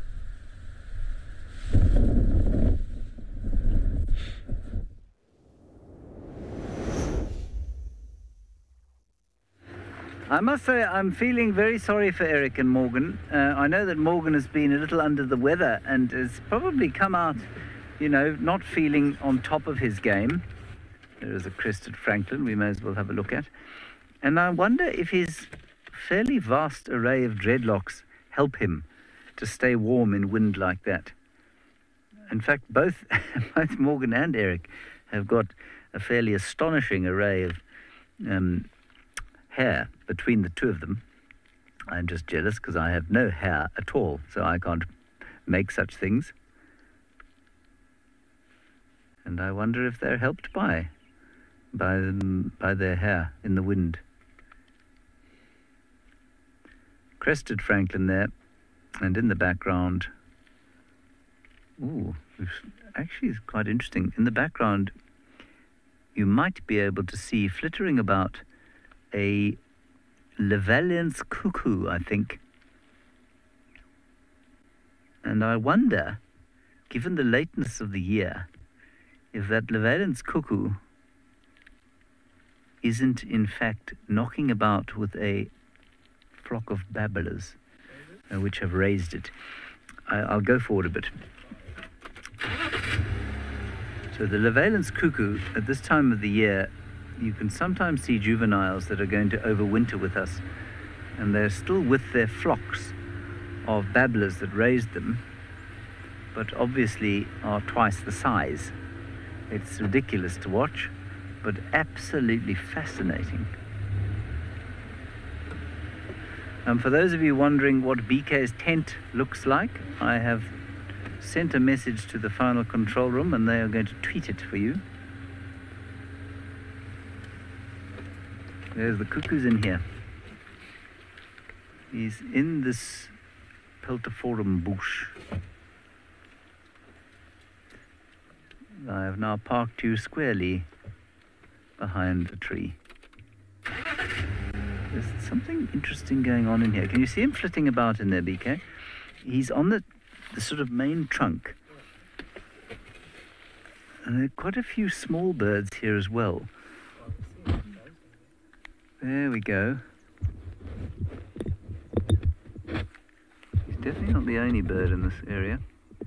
A few on the top. Can you see any?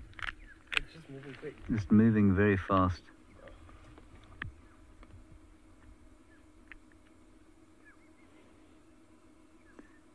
Okay, there's a long-billed crombec as well.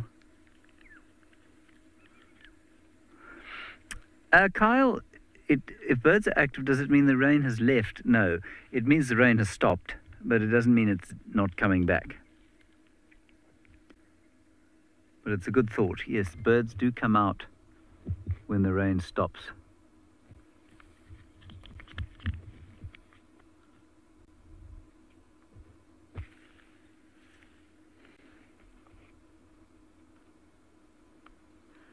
No, I'm afraid I think he has absconded or is going to hide from us. Okay, let us continue.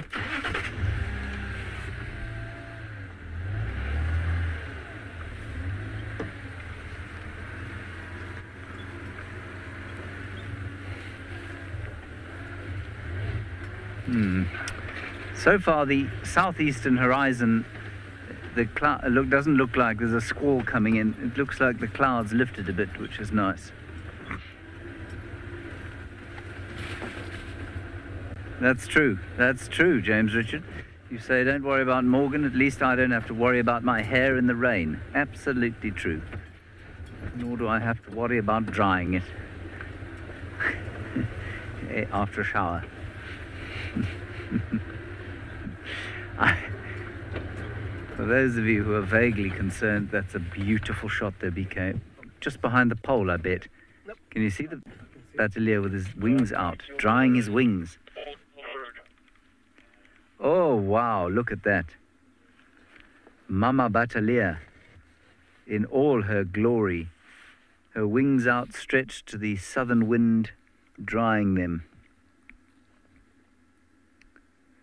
Oh, my dear, you look so pretty this Sunday afternoon. Thank you, she says and bows. Except I don't think it's a female. I think it's a male. Hang on a second.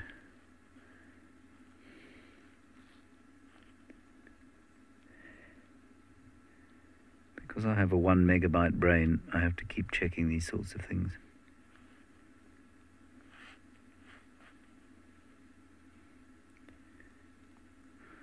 It is a female. It is a female. Definitely. Look at her. Isn't she gorgeous? Oh, wow. Yeah. As you say, African sunset. Uh, BK doing his wet weather like a boss. Absolutely. Isn't that just magic?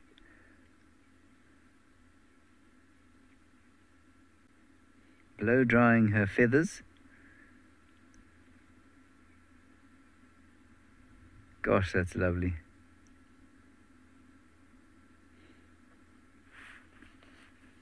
Magnificent.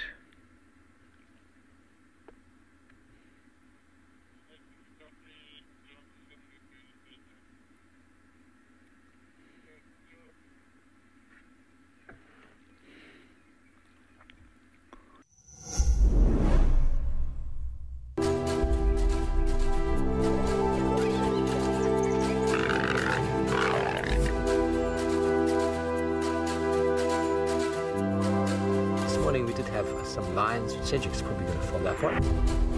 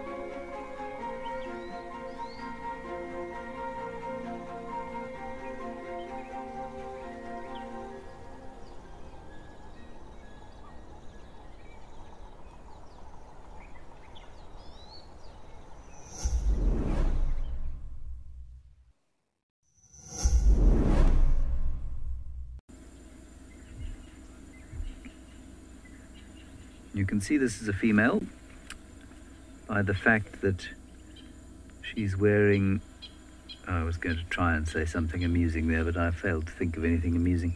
You can see it because she's got the very thin black stripe underneath her white wings, you can see there. And also, she's got that really beautiful kind of chestnut coloured back. Vicky, you say she looks miserable. Yeah, I, I would agree. I think she certainly has looked happier. She's got a lot of work to do on those feathers.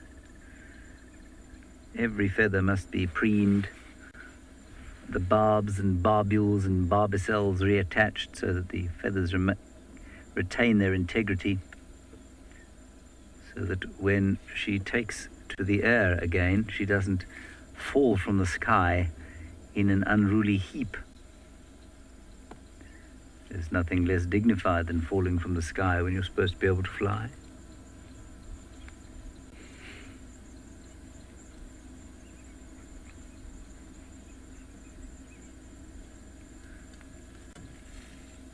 Beautiful. Right, let's go and see if we can find some lions.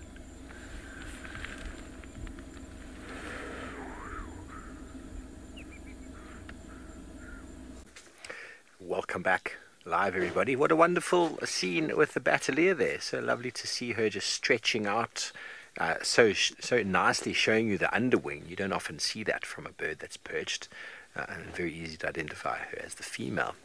Uh, and indeed, James comments about the Eastern Cape making great strides in places like Amakhala. We see a fair bit, fair number of birds of prey there. But up here in the Kruger, very good numbers. But as he says, outside of the reserves, not so much. I mean, that goes for elephants as well. You don't really find elephants outside of conservation areas. Yeah, it's just the way it is. And talking about elephants, well, I've got more information here to go through. Let's uh, find the right clip, shall we? Here we go. That's not working for some reason. Let me stop that one. There we go. And then play that one. Okay, so first thing you need to pay attention to, everybody, is when you find elephants, is to give them as much space as you can. Um, if there's lots of space, lots of area for the elephants to go, they will move where they need to go. Um, don't block their pathway. If you see a large herd of elephants walking in your general direction, uh, and it's quite spacious and lots of place to move, position yourself in a way that they might come closer or they might not. They'll make the decision on their own. And essentially, what they're doing is they are forming their own boundaries with you, their own critical lines, their own warning and alert lines. And they'll only come as close to you as they want to. But in this clip here, what's so obvious? There's babies all over the place. Babies, babies, babies. Feeding, trunks moving, ears flapping, babies feeding. And this herd of elephants, this was a Madikwe, actually surrounded me. I spent about 45 minutes with them. I just kept repositioning and getting in front of them and repositioning, and they just kept walking around us. Very typical behavior of a relaxed herd of elephants. Darkmane lover, they are really kings of the jungle, and you can actually often see the different makeups of the herds. You can see here there's a small group, there's probably another group there, maybe two or three groups in amongst this herd, all related. Um, and all they're doing is feeding, moving through the landscape, lots of space for them to go, and I'm not blocking their way in any way. So you can have a really good time with elephants if you find yourself in a situation where there's lots of space. So space is key. Often find little babies will come a bit closer to you like this. They're a little bit more curious because everybody's relaxed. And mama there, just above that baby's shoulder, you can see the eyes are pretty much half lidded. She's not even aware of what's going on. Although She's very aware of what's going on. She's just not concerned. Okay, so that's the key. Look for the females. What are the females doing? Can you see the babies? You see, this one's going to walk around me. That's her zone. And the baby's going to follow the same line. That's exactly the distance she wants to keep from me. And the youngster's like, okay, hello. Now, if mum didn't like the youngster coming towards me, she would have stopped it or she would have prevented it doing so. But clearly, she's not concerned at all. Feeding as they go. Moments like this, very easy to see relaxed behavior. Breathe. Hmm.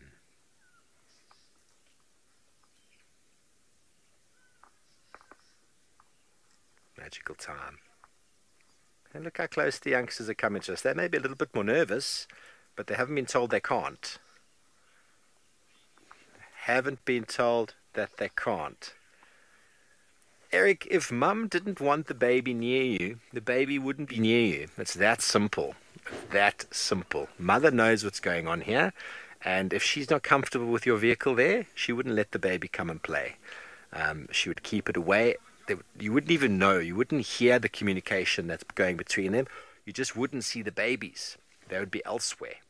So that is the key. Babies in the open, babies between you and the mothers, very relaxed. If you can't see the babies or they're all bunched together, also, see, there's me greeting. Hello. Come and say hello to me, this little elephant. If you can't see the babies, or maybe they bunched um, up, all the herd is bunched together, big females and the babies in between, and, and they still come towards you, that's okay. They're not showing you aggression, but they are alert. And they're coming closer and they're sort of filing with the children. You know, when you get off the subway and you're moving through people and you've maybe got your kids with you, what do you do? You sort of all come together. You're not like challenging the world and everyone's about to get you, but you're aware that there's there's other people around and there's potential to get lost. And so you all sort of bunch together and move through the subway so that you can all go to where you need to go. Alert, aware, but not showing aggressive behavior to anybody. When you see elephants doing that, just switch off, enjoy, spend time, and most definitely take some pictures or some video. Okay, well, it sounds like Eric is on the move. Are his cheetahs on the move, or what's happening down in Amakhala?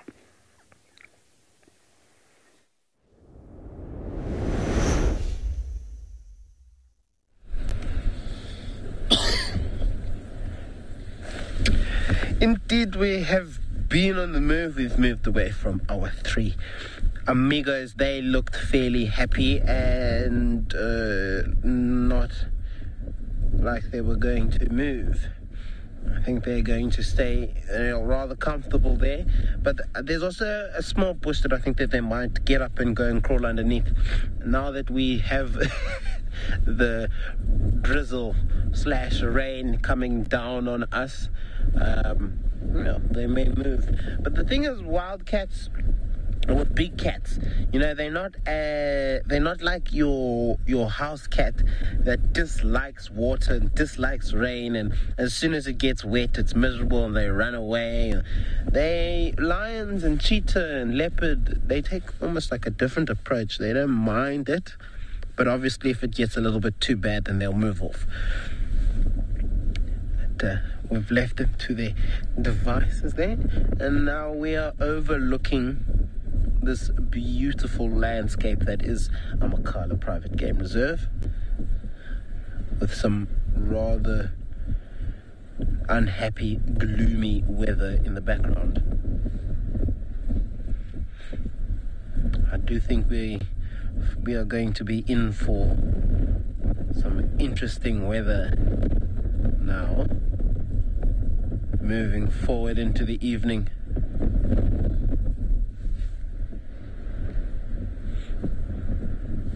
Michelle, yes, definitely scary and beautiful.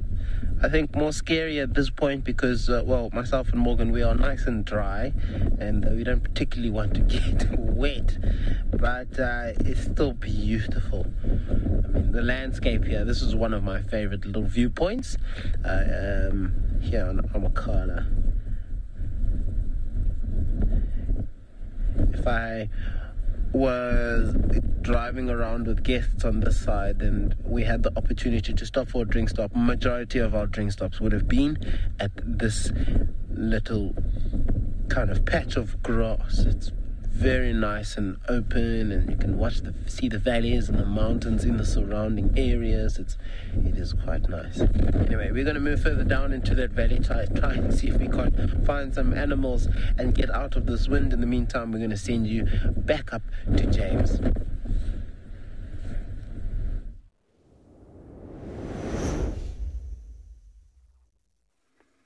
Hmm.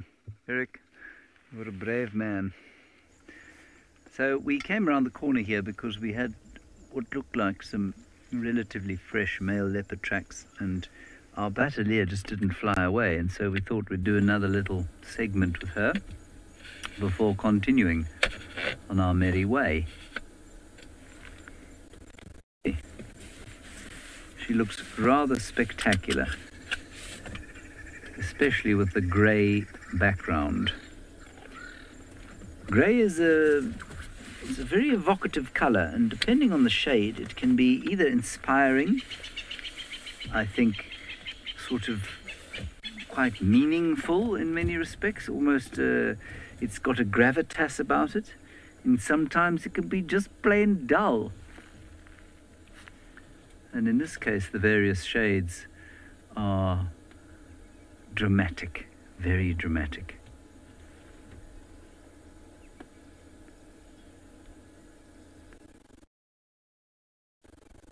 She's now drying the back of her wings. The front she thinks are dry enough.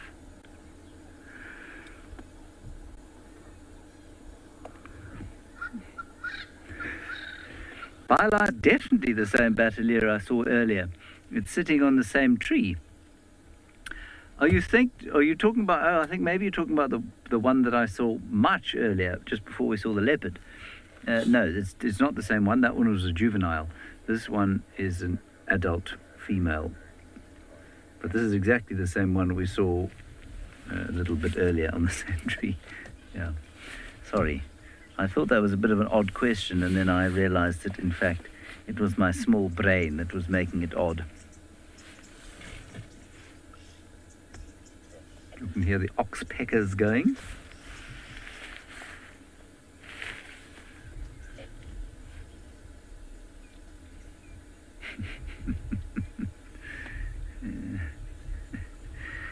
I've always loved your name, Sugar Bits. Uh, yeah, Sugar Bits. You,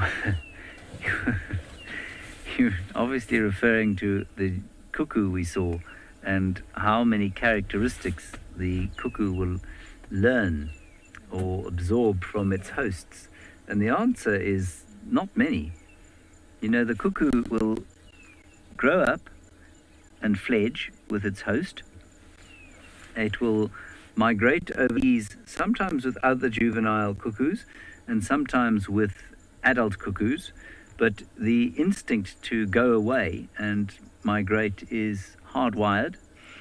They don't have the same calls, so they don't learn the calls of their hosts. They have their own calls hardwired into them. And it's, I mean, they they don't really learn to eat the same. I suppose they do learn to eat the same stuff, but their hosts normally eat the same stuff anyway. Um, and then nobody teaches them to. Nobody teaches them where to lay their eggs, and maybe, just maybe, in the recesses of their memories, uh, or what passes for a memory for a cuckoo, maybe they realize, or no, they don't realize, they have some thought that in order to raise youngsters, they need to, you know, place them in a host's nest. But maybe they think that they maybe they think that they are that host. If you know what I mean. Maybe they think they're the same species as the host. So maybe the Levaillant's cuckoo actually doesn't think it's a Levaillant's cuckoo. It thinks it's a, babbler. Although they mate with other Levaillant's cuckoos and not with babblers. It's also complicated. I don't know, but I don't think they learn a lot from their hosts. Most of what they know is instinctual. The problem with cuckoos, as with in fact all wild animals, is that they don't speak English or any other language that we can speak, which makes trying to figure out what on earth they're doing very difficult.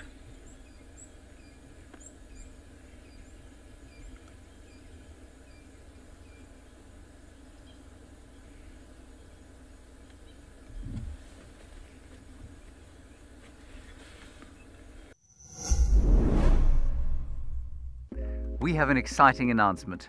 Wild Earth is launching a YouTube membership program.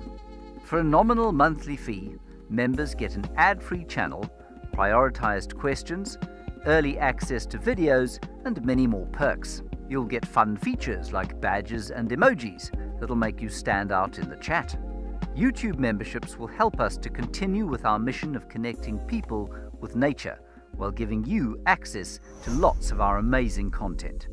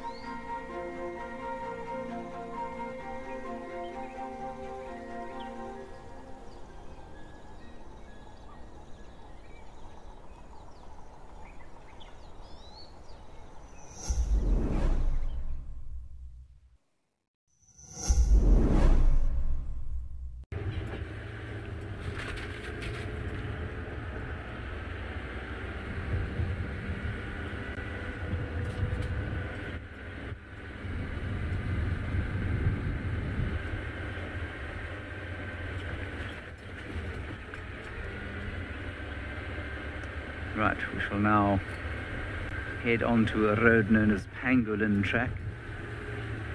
It will lead us to the pan known as Chelapan.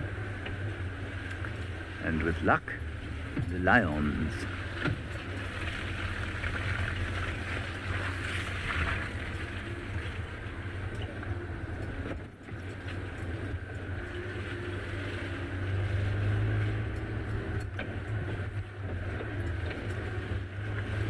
Hear some arrow-marked babblers calling.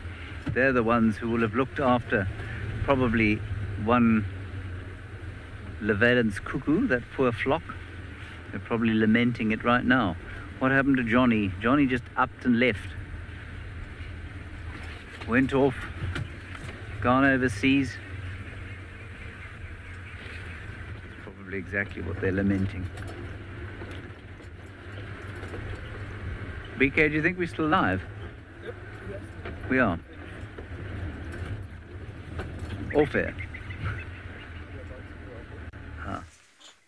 Oh, welcome back live, everybody. What wonderful scenes with James and his bateleur and then his Swainson's spurfowl. So, a question that came through from um, Mac Would the matriarch uh, make a youngster move away from a vehicle if it was acting aggressive?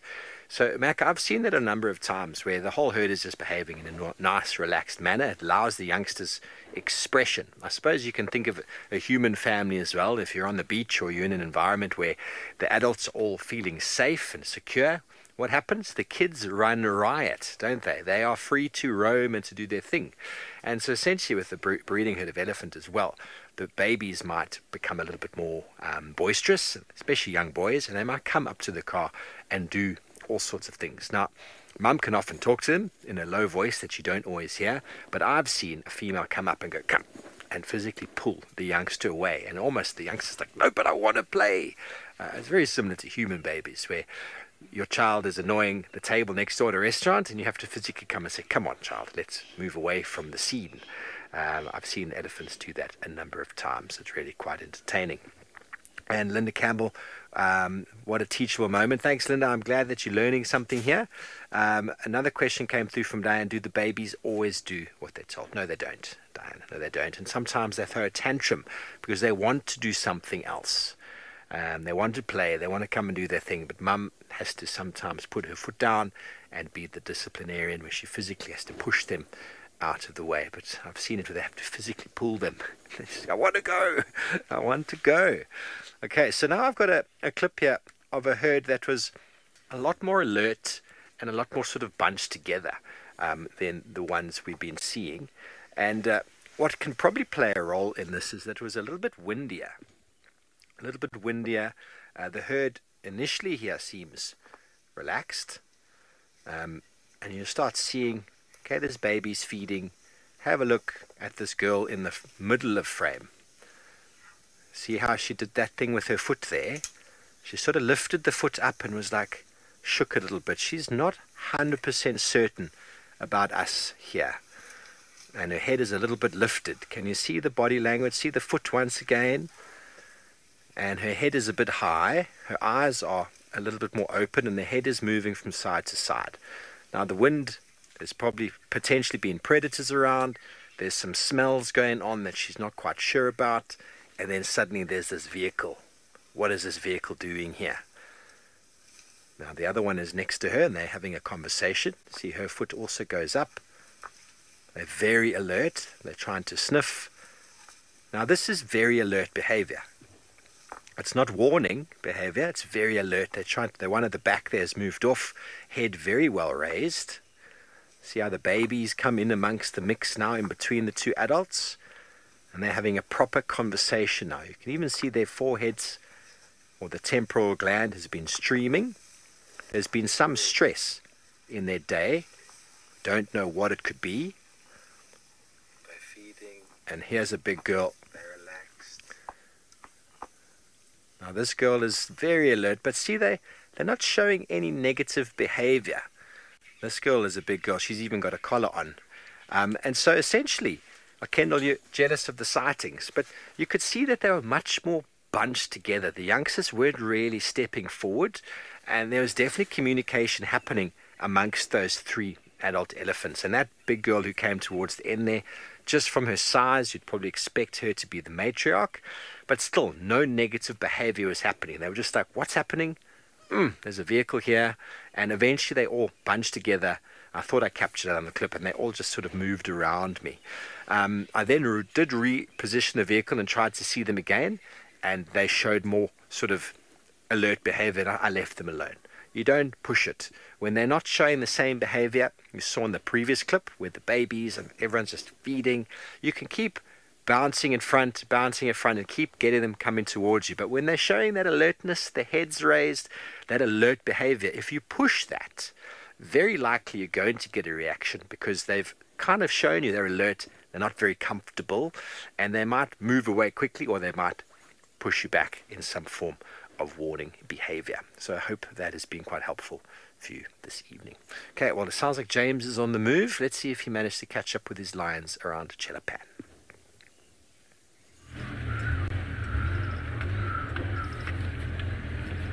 Yes, Stephen, I'm on the move. Your bottom must be getting quite sore sitting where you are, I imagine. And certainly dry. I have broken the golden rule and I have stayed out despite the fact that my underpants were wet some 90 minutes ago. I think that sounds like from Steve's lessons and the videos he's found today that you could probably all drive into the Kruger and quite comfortably tell half of the imbeciles who drive around the elephants there that uh, they're not doing the right thing, and you could tell them exactly what to do.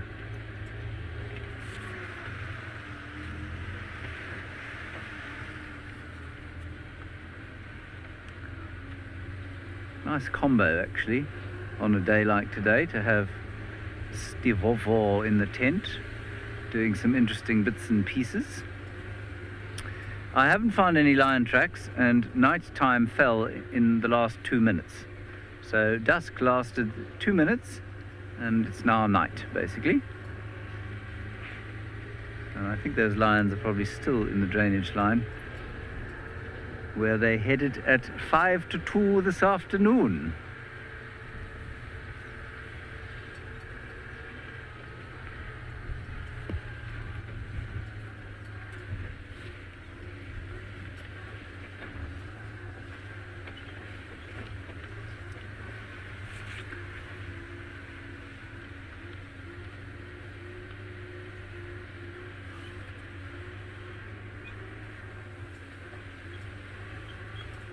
We might be lucky along here. It's a quite tricky decision for an animal to decide where to lie because there is literally nowhere dry anymore. Grant, you say we need a tent day to to uh, investigate human behavior because we are the problem. Um, Grant, I do agree that we're the problem. I don't agree that we'd solve the problem or understand any more about it by investigating human behavior. Good grief, look at that. It's the rarest animal at Djuma. I'm being slightly sarcastic. Go into IR, here we go. That's the IR sound. You can go into IR now, BK. Giraffe, can you believe it?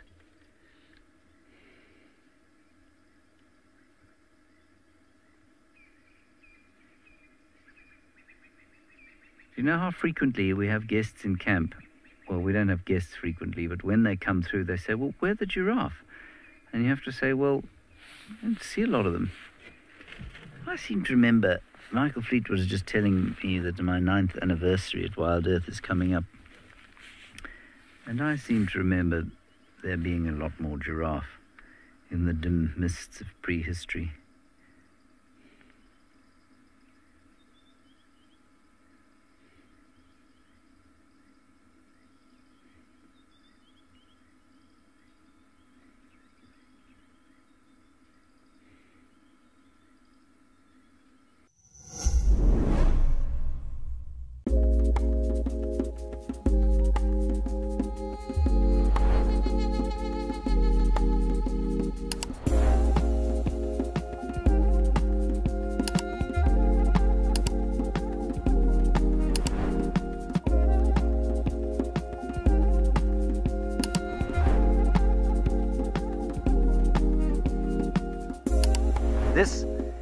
On Safari.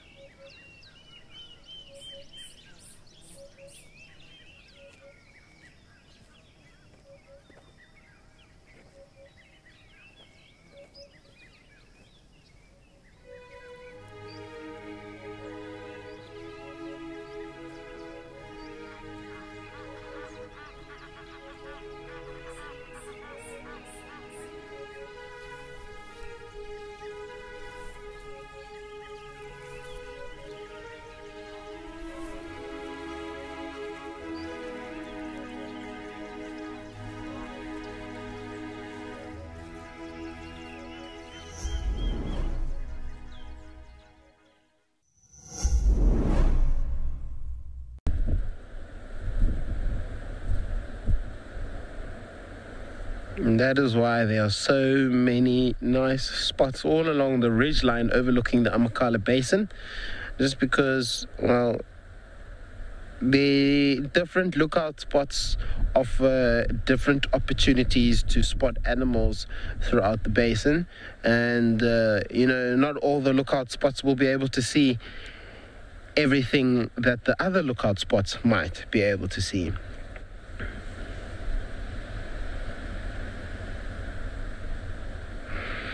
Uh, the vastness is, I mean, the, the rolling hills, the the the shrubbery the, the, they spread out in different areas. The open grasslands it really is something to behold on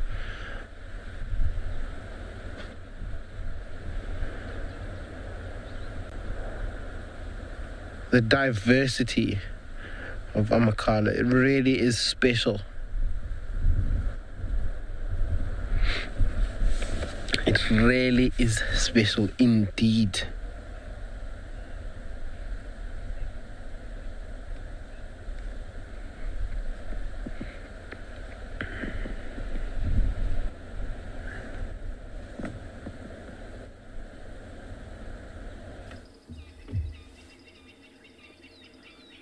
There we have got our giraffe again. Same giraffe.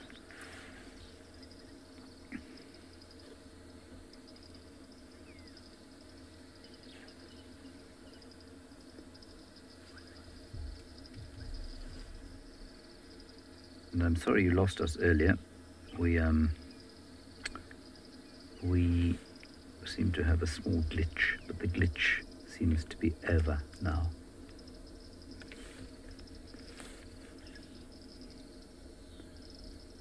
I'm going to let the giraffe drift off. I'm not going to follow them. It's now getting very dark indeed. And we will continue on our hopeful way and maybe we'll be lucky with a lurven or two.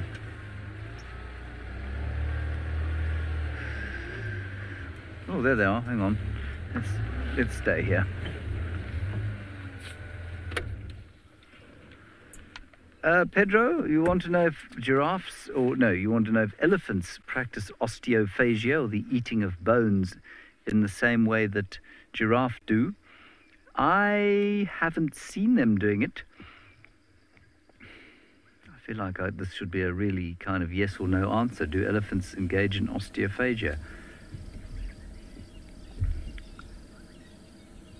I don't know. I've never seen them do it. They definitely eat sand, so they do engage in geophagia.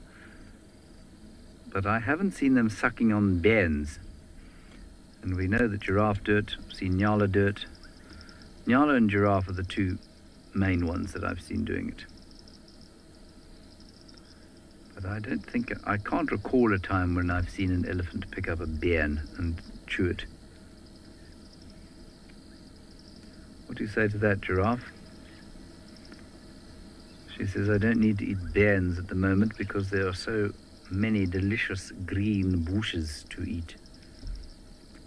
Many of which are losing their tannins as we go into the autumnal season. There's the bottom of the other one.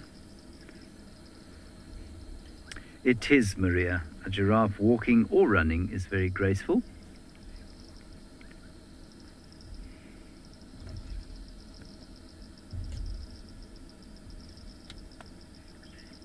They really are spectacularly graceful, possibly the most graceful out here. Not the most athletic, but definitely the most graceful. It's, they're not athletic because the design just simply doesn't allow for it. And I've made mention fairly frequently of late of how it's possible for these predators to take prey that is, are heavier than them. For example, a leopardess you know, mass 35 to 40 kilograms, taking a adult male impala at 70 kilos, or a lioness at 130 kilos, taking an adult female zebra at 300 kilos, so double her mass. And one of the main reasons is that these animals don't have the ability, the herbivores don't have the ability to twist their spines and get their legs underneath them if their heads are on their sides on the ground, if you know what I mean. And if you don't know what I mean, go and find a house cat and try and hold it on its side by its head. Uh, you will not succeed. The house cat will get its feet underneath it, stand up, and then probably scratch you. And try the same with your dog if you like.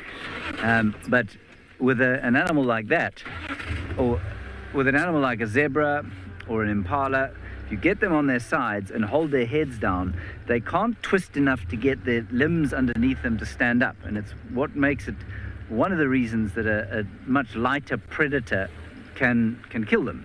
But for a giraffe, that's taken to extremes.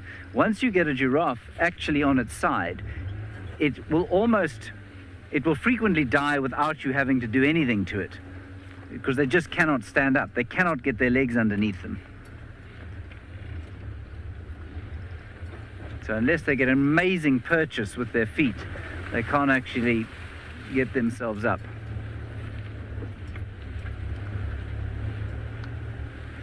Now remember everybody, the town hall in uh, about an hour's time. Andre, chairman and CEO, will be talking with me and you about our fundraise, about the future. Our fundraise has so far seen us raise $180,000, which is, I mean, that's an astonishing sum of money. Um, but it does, it is an incredibly expensive business to be running. And so we, I mean, if we could hit 200 by the end of today, that would be absolutely amazing and we'd be extremely grateful. We're already extremely grateful. And please do keep signing the petition. Uh, the town hall will be open to everybody. It'll be on every platform that we're on and it will be at seven o'clock. So half an hour, for half an hour after this drive, there'll be a, an episode of the Cat Report, which is really quite fun. If you don't, well, it's fun anyway, but if you don't know some of our older cat characters, uh, you'll enjoy that. And then um, there will be the town hall at seven o'clock. Right, let's go and find out how poor Steve is doing in his tent. I'm sure he's cold and miserable and just couldn't, would love to be out here with us.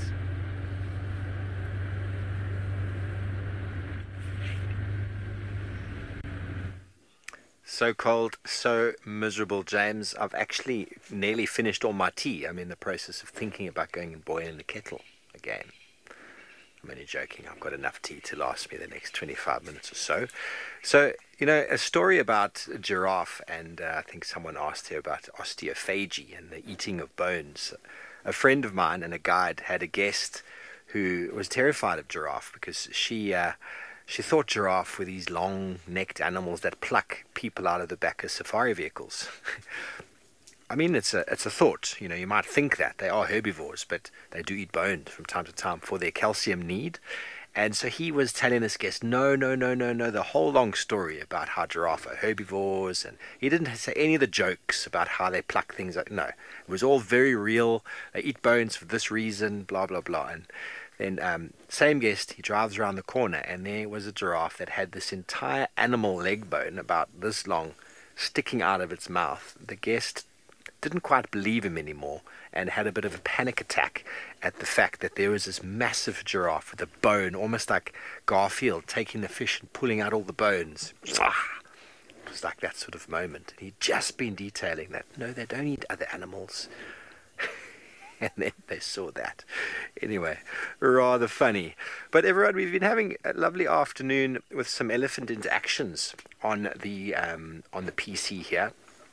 I've got another one from a Madikwe from last year.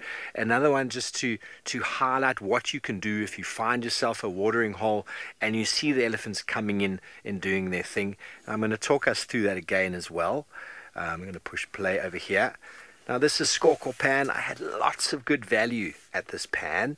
Um, this is something you're going to see elephants do. They're going to come down to water points. They're going to mud wallow. They're going to drink. It's a very social time. Now, at no point are these animals going to be like this, doing what they're doing, and suddenly, out of nowhere, with you being there already for 10 minutes, 20 minutes, suddenly switch their behavior and become aggressive towards you. That's not going to happen. Even that mother there with that little baby, look at that. She is going to go and rub herself. The baby wants to suckle.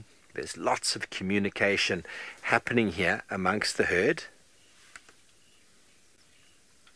Lots of talking, lots of splashing, lots of rubbing. And these are moments to just sit back and enjoy.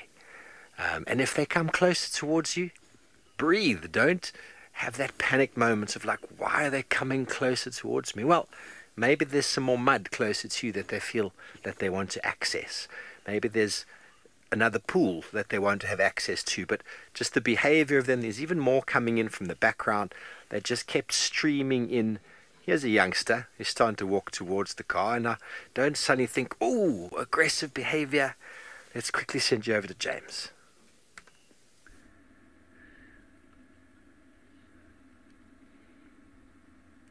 Here is a here's a piece of grass, behind which is a white-tailed mongoose. It's literally just stepped behind that piece of grass, and it's it's quite relaxed. Uh, let me go forward a bit, BK, and let's see see it again. Uh, can you see where it went? In there. Shall I stop here? Say win.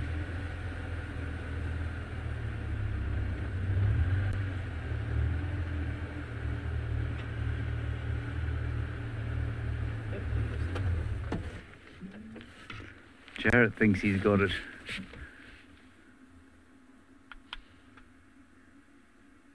There it is. it's miles ahead. Look, it's standing up. There it is. It was standing up.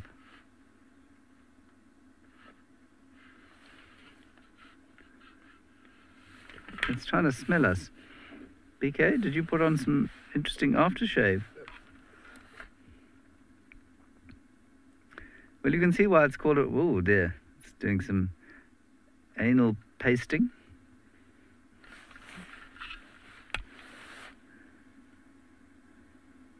You can see why it's called a white-tailed mongoose. Let's continue.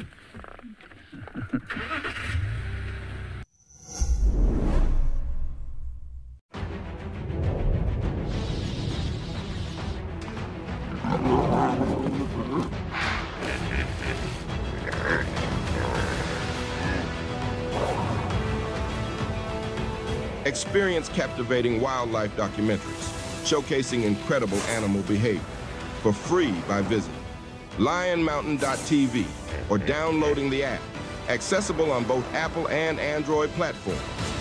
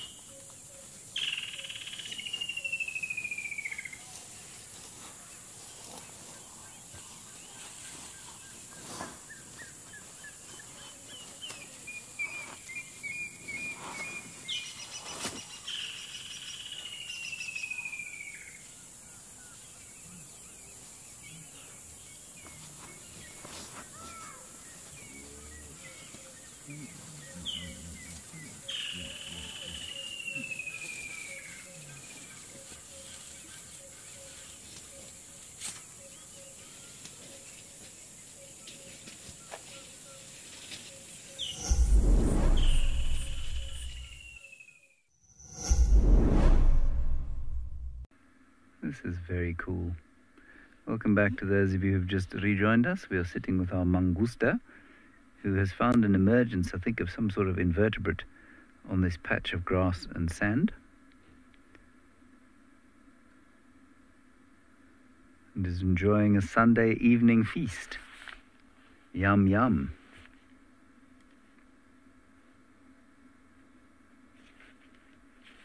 Hmm. And Jarrett just confirming that he thinks that the white-tailed, or not he thinks, I'm pretty sure he's just looked it up, that the white-tailed mongoose, who's just anal pasted there, is the biggest mongoose, followed by the Egyptian mongoose, which we don't get here. Guess where the Egyptian mongoose is found, BK? Uh, sounds like Egypt. Yes, it is. Yeah, among other places, but certainly to be found on the Nile. How did you know? You've been studying, have you? Yeah, lately, yeah. Yeah. Good man.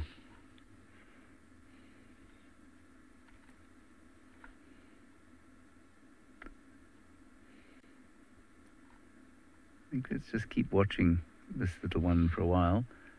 How far away do you reckon it is now? Do you want to go a bit closer? I think it's quite relaxed at the moment. Let's we'll just go to the other side of this puddle.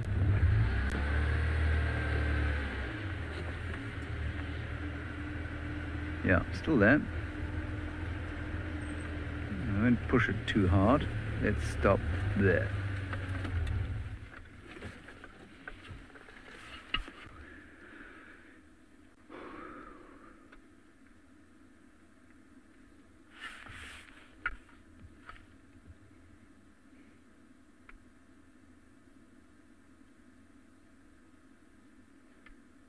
Very nice.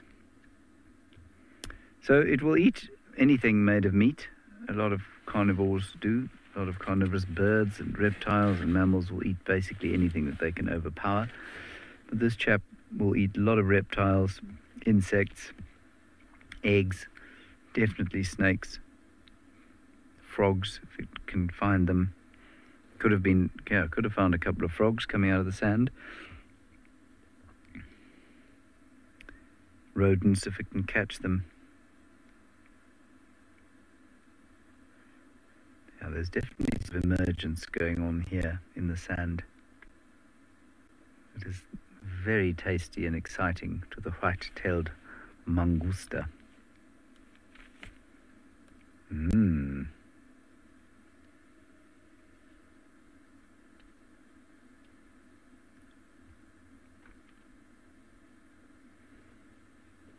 Craig, the only two social mongoose species here are the dwarf and the banded.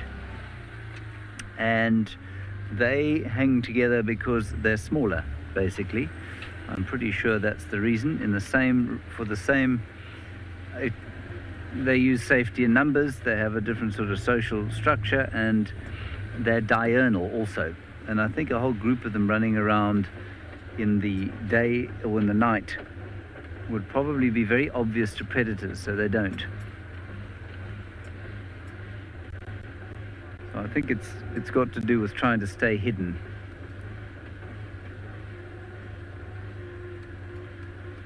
Yeah, that chap's gone now. All right, let's continue.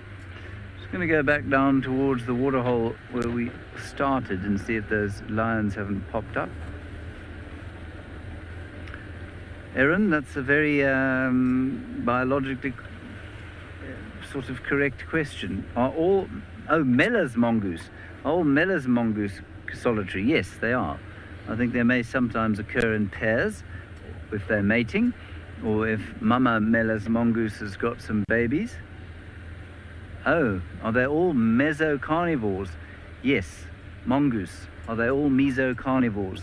As far as I'm aware, yes, they are. Sorry, missed your question there. No. Are all mesocarnivores solitary? No.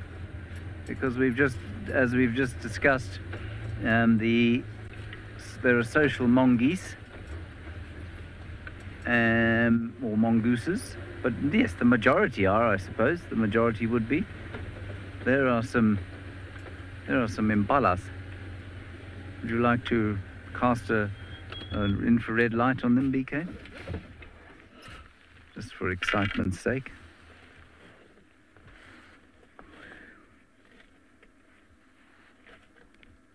You seen any lions?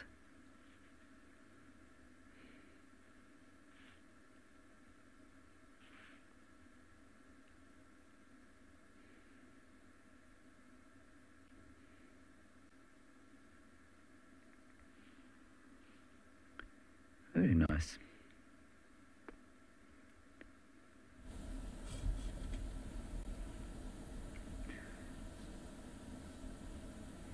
So a, a mesocarnivore, for those of you who are wondering, it doesn't. That's not what those impala are. A mesocarnivore is largely a carnivore, but it also eats uh, bits of fruit and that sort of thing. And uh, so that would include things like civets, uh, I suppose, perhaps some of the mustelids, like, I mean, badgers would eat almost exclusively meat, but some of the weasels maybe, um, skunks, and then some of the mongoose will eat a bit of fruit, but most of the mongoose out here are largely fully carnivorous. Jackals, good one. Um, they are, some jackals are mesocarnivores, and they're not all solitary, no. It was a very nice question. Very, very nice. Thank you for that.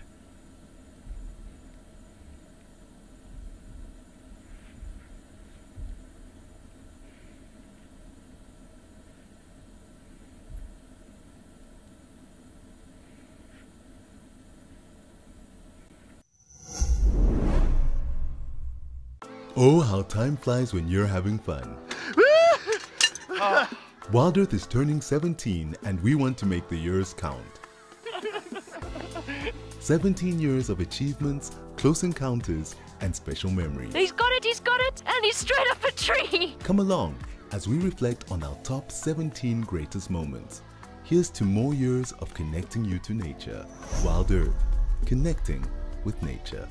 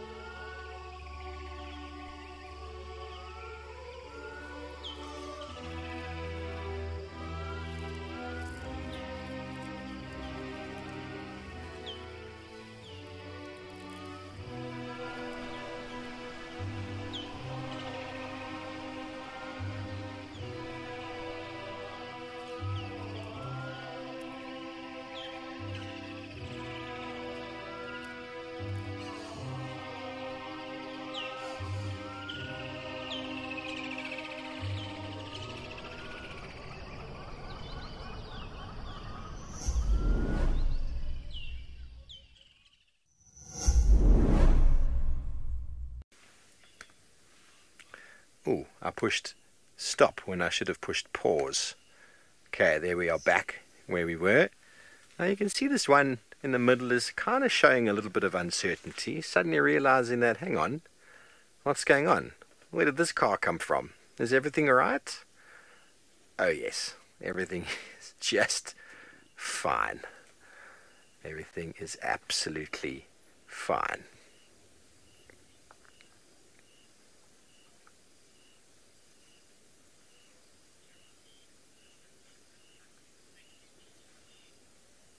Oh, Geraldine, it's been my pleasure. A lot of these clips we would have done live when I was doing live at the water, not live at the waterhole. What were we doing in the days? Gert, do you remember? What were they uh, called? Something nature.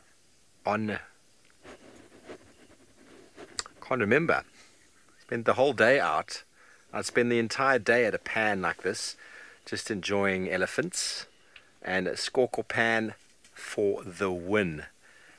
What a treat! Escape. Thanks, Jared. Um, I'm sure you, you should know. I think I've lost it from my memory. But such special time spending time with elephants. I'm glad we could revisit it, and I'm glad I could show you over again. And I guess it depends on. Do you know? Um, hello, everyone. Sorry, that got us in a bit of a shock. We were discussing what books BK should read. I was about to uh, sort of question him a bit on. He wants some sort of thriller type book. Um, BK, I'm going to suggest if you really want to try something South African, Deon Meyer.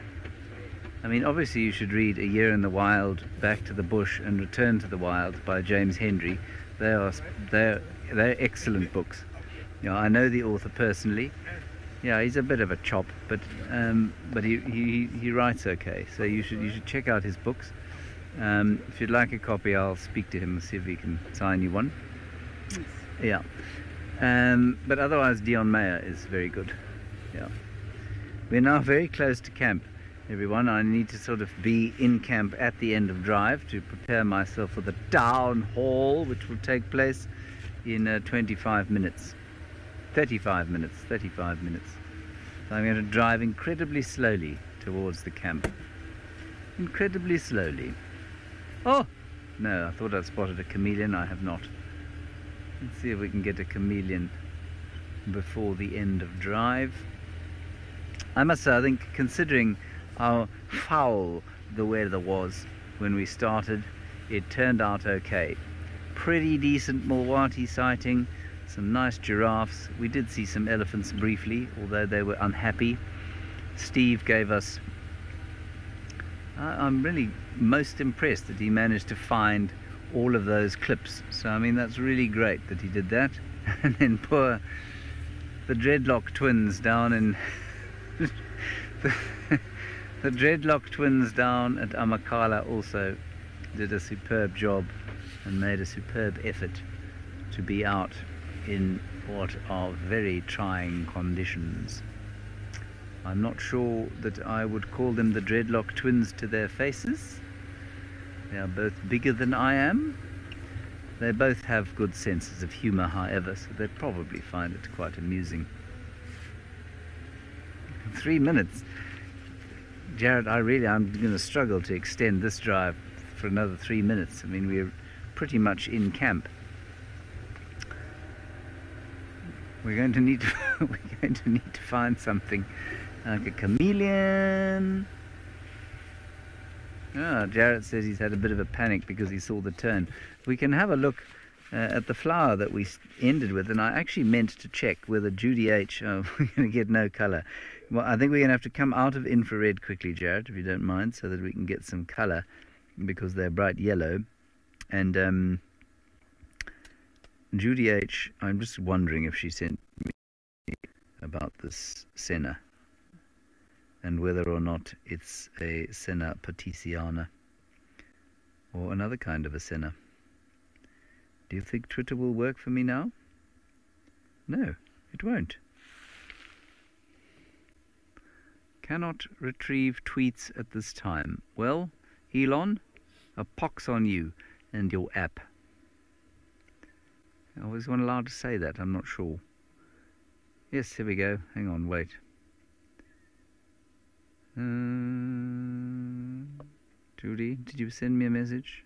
Did you at me? Sorry, I'm struggling to retrieve my tweets. No, I don't think she did. Right, Senna petersiana, it's going to remain for now. Good. Well, that's a very nice colour to end off with after a black and white drive, after a very grey drive with all the grey clouds. And now we can drift slowly down towards Camp BK. You can leave it in colour because I think it's unlikely we're bound to going to spot a leopard as we go into camp, but it's not impossible.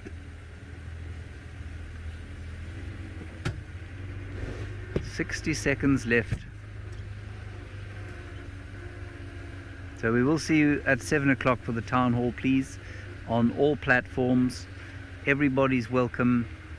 Bring your questions. We'll do our best to answer them and keep you abreast of developments here at Wild Earth.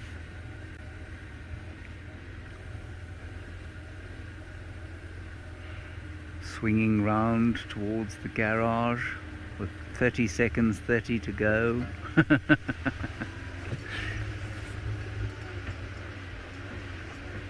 Very nice. Good way to end. Oh, thank you. Thank you, Jared. Thanks everybody for braving the elements with us. It's been lovely to be with you this afternoon. I was not looking forward to it when we went out and I had a wonderful time. So thanks for having us and thanks for being with us. We will see you at 7 o'clock at the town hall. Until then, bye-bye.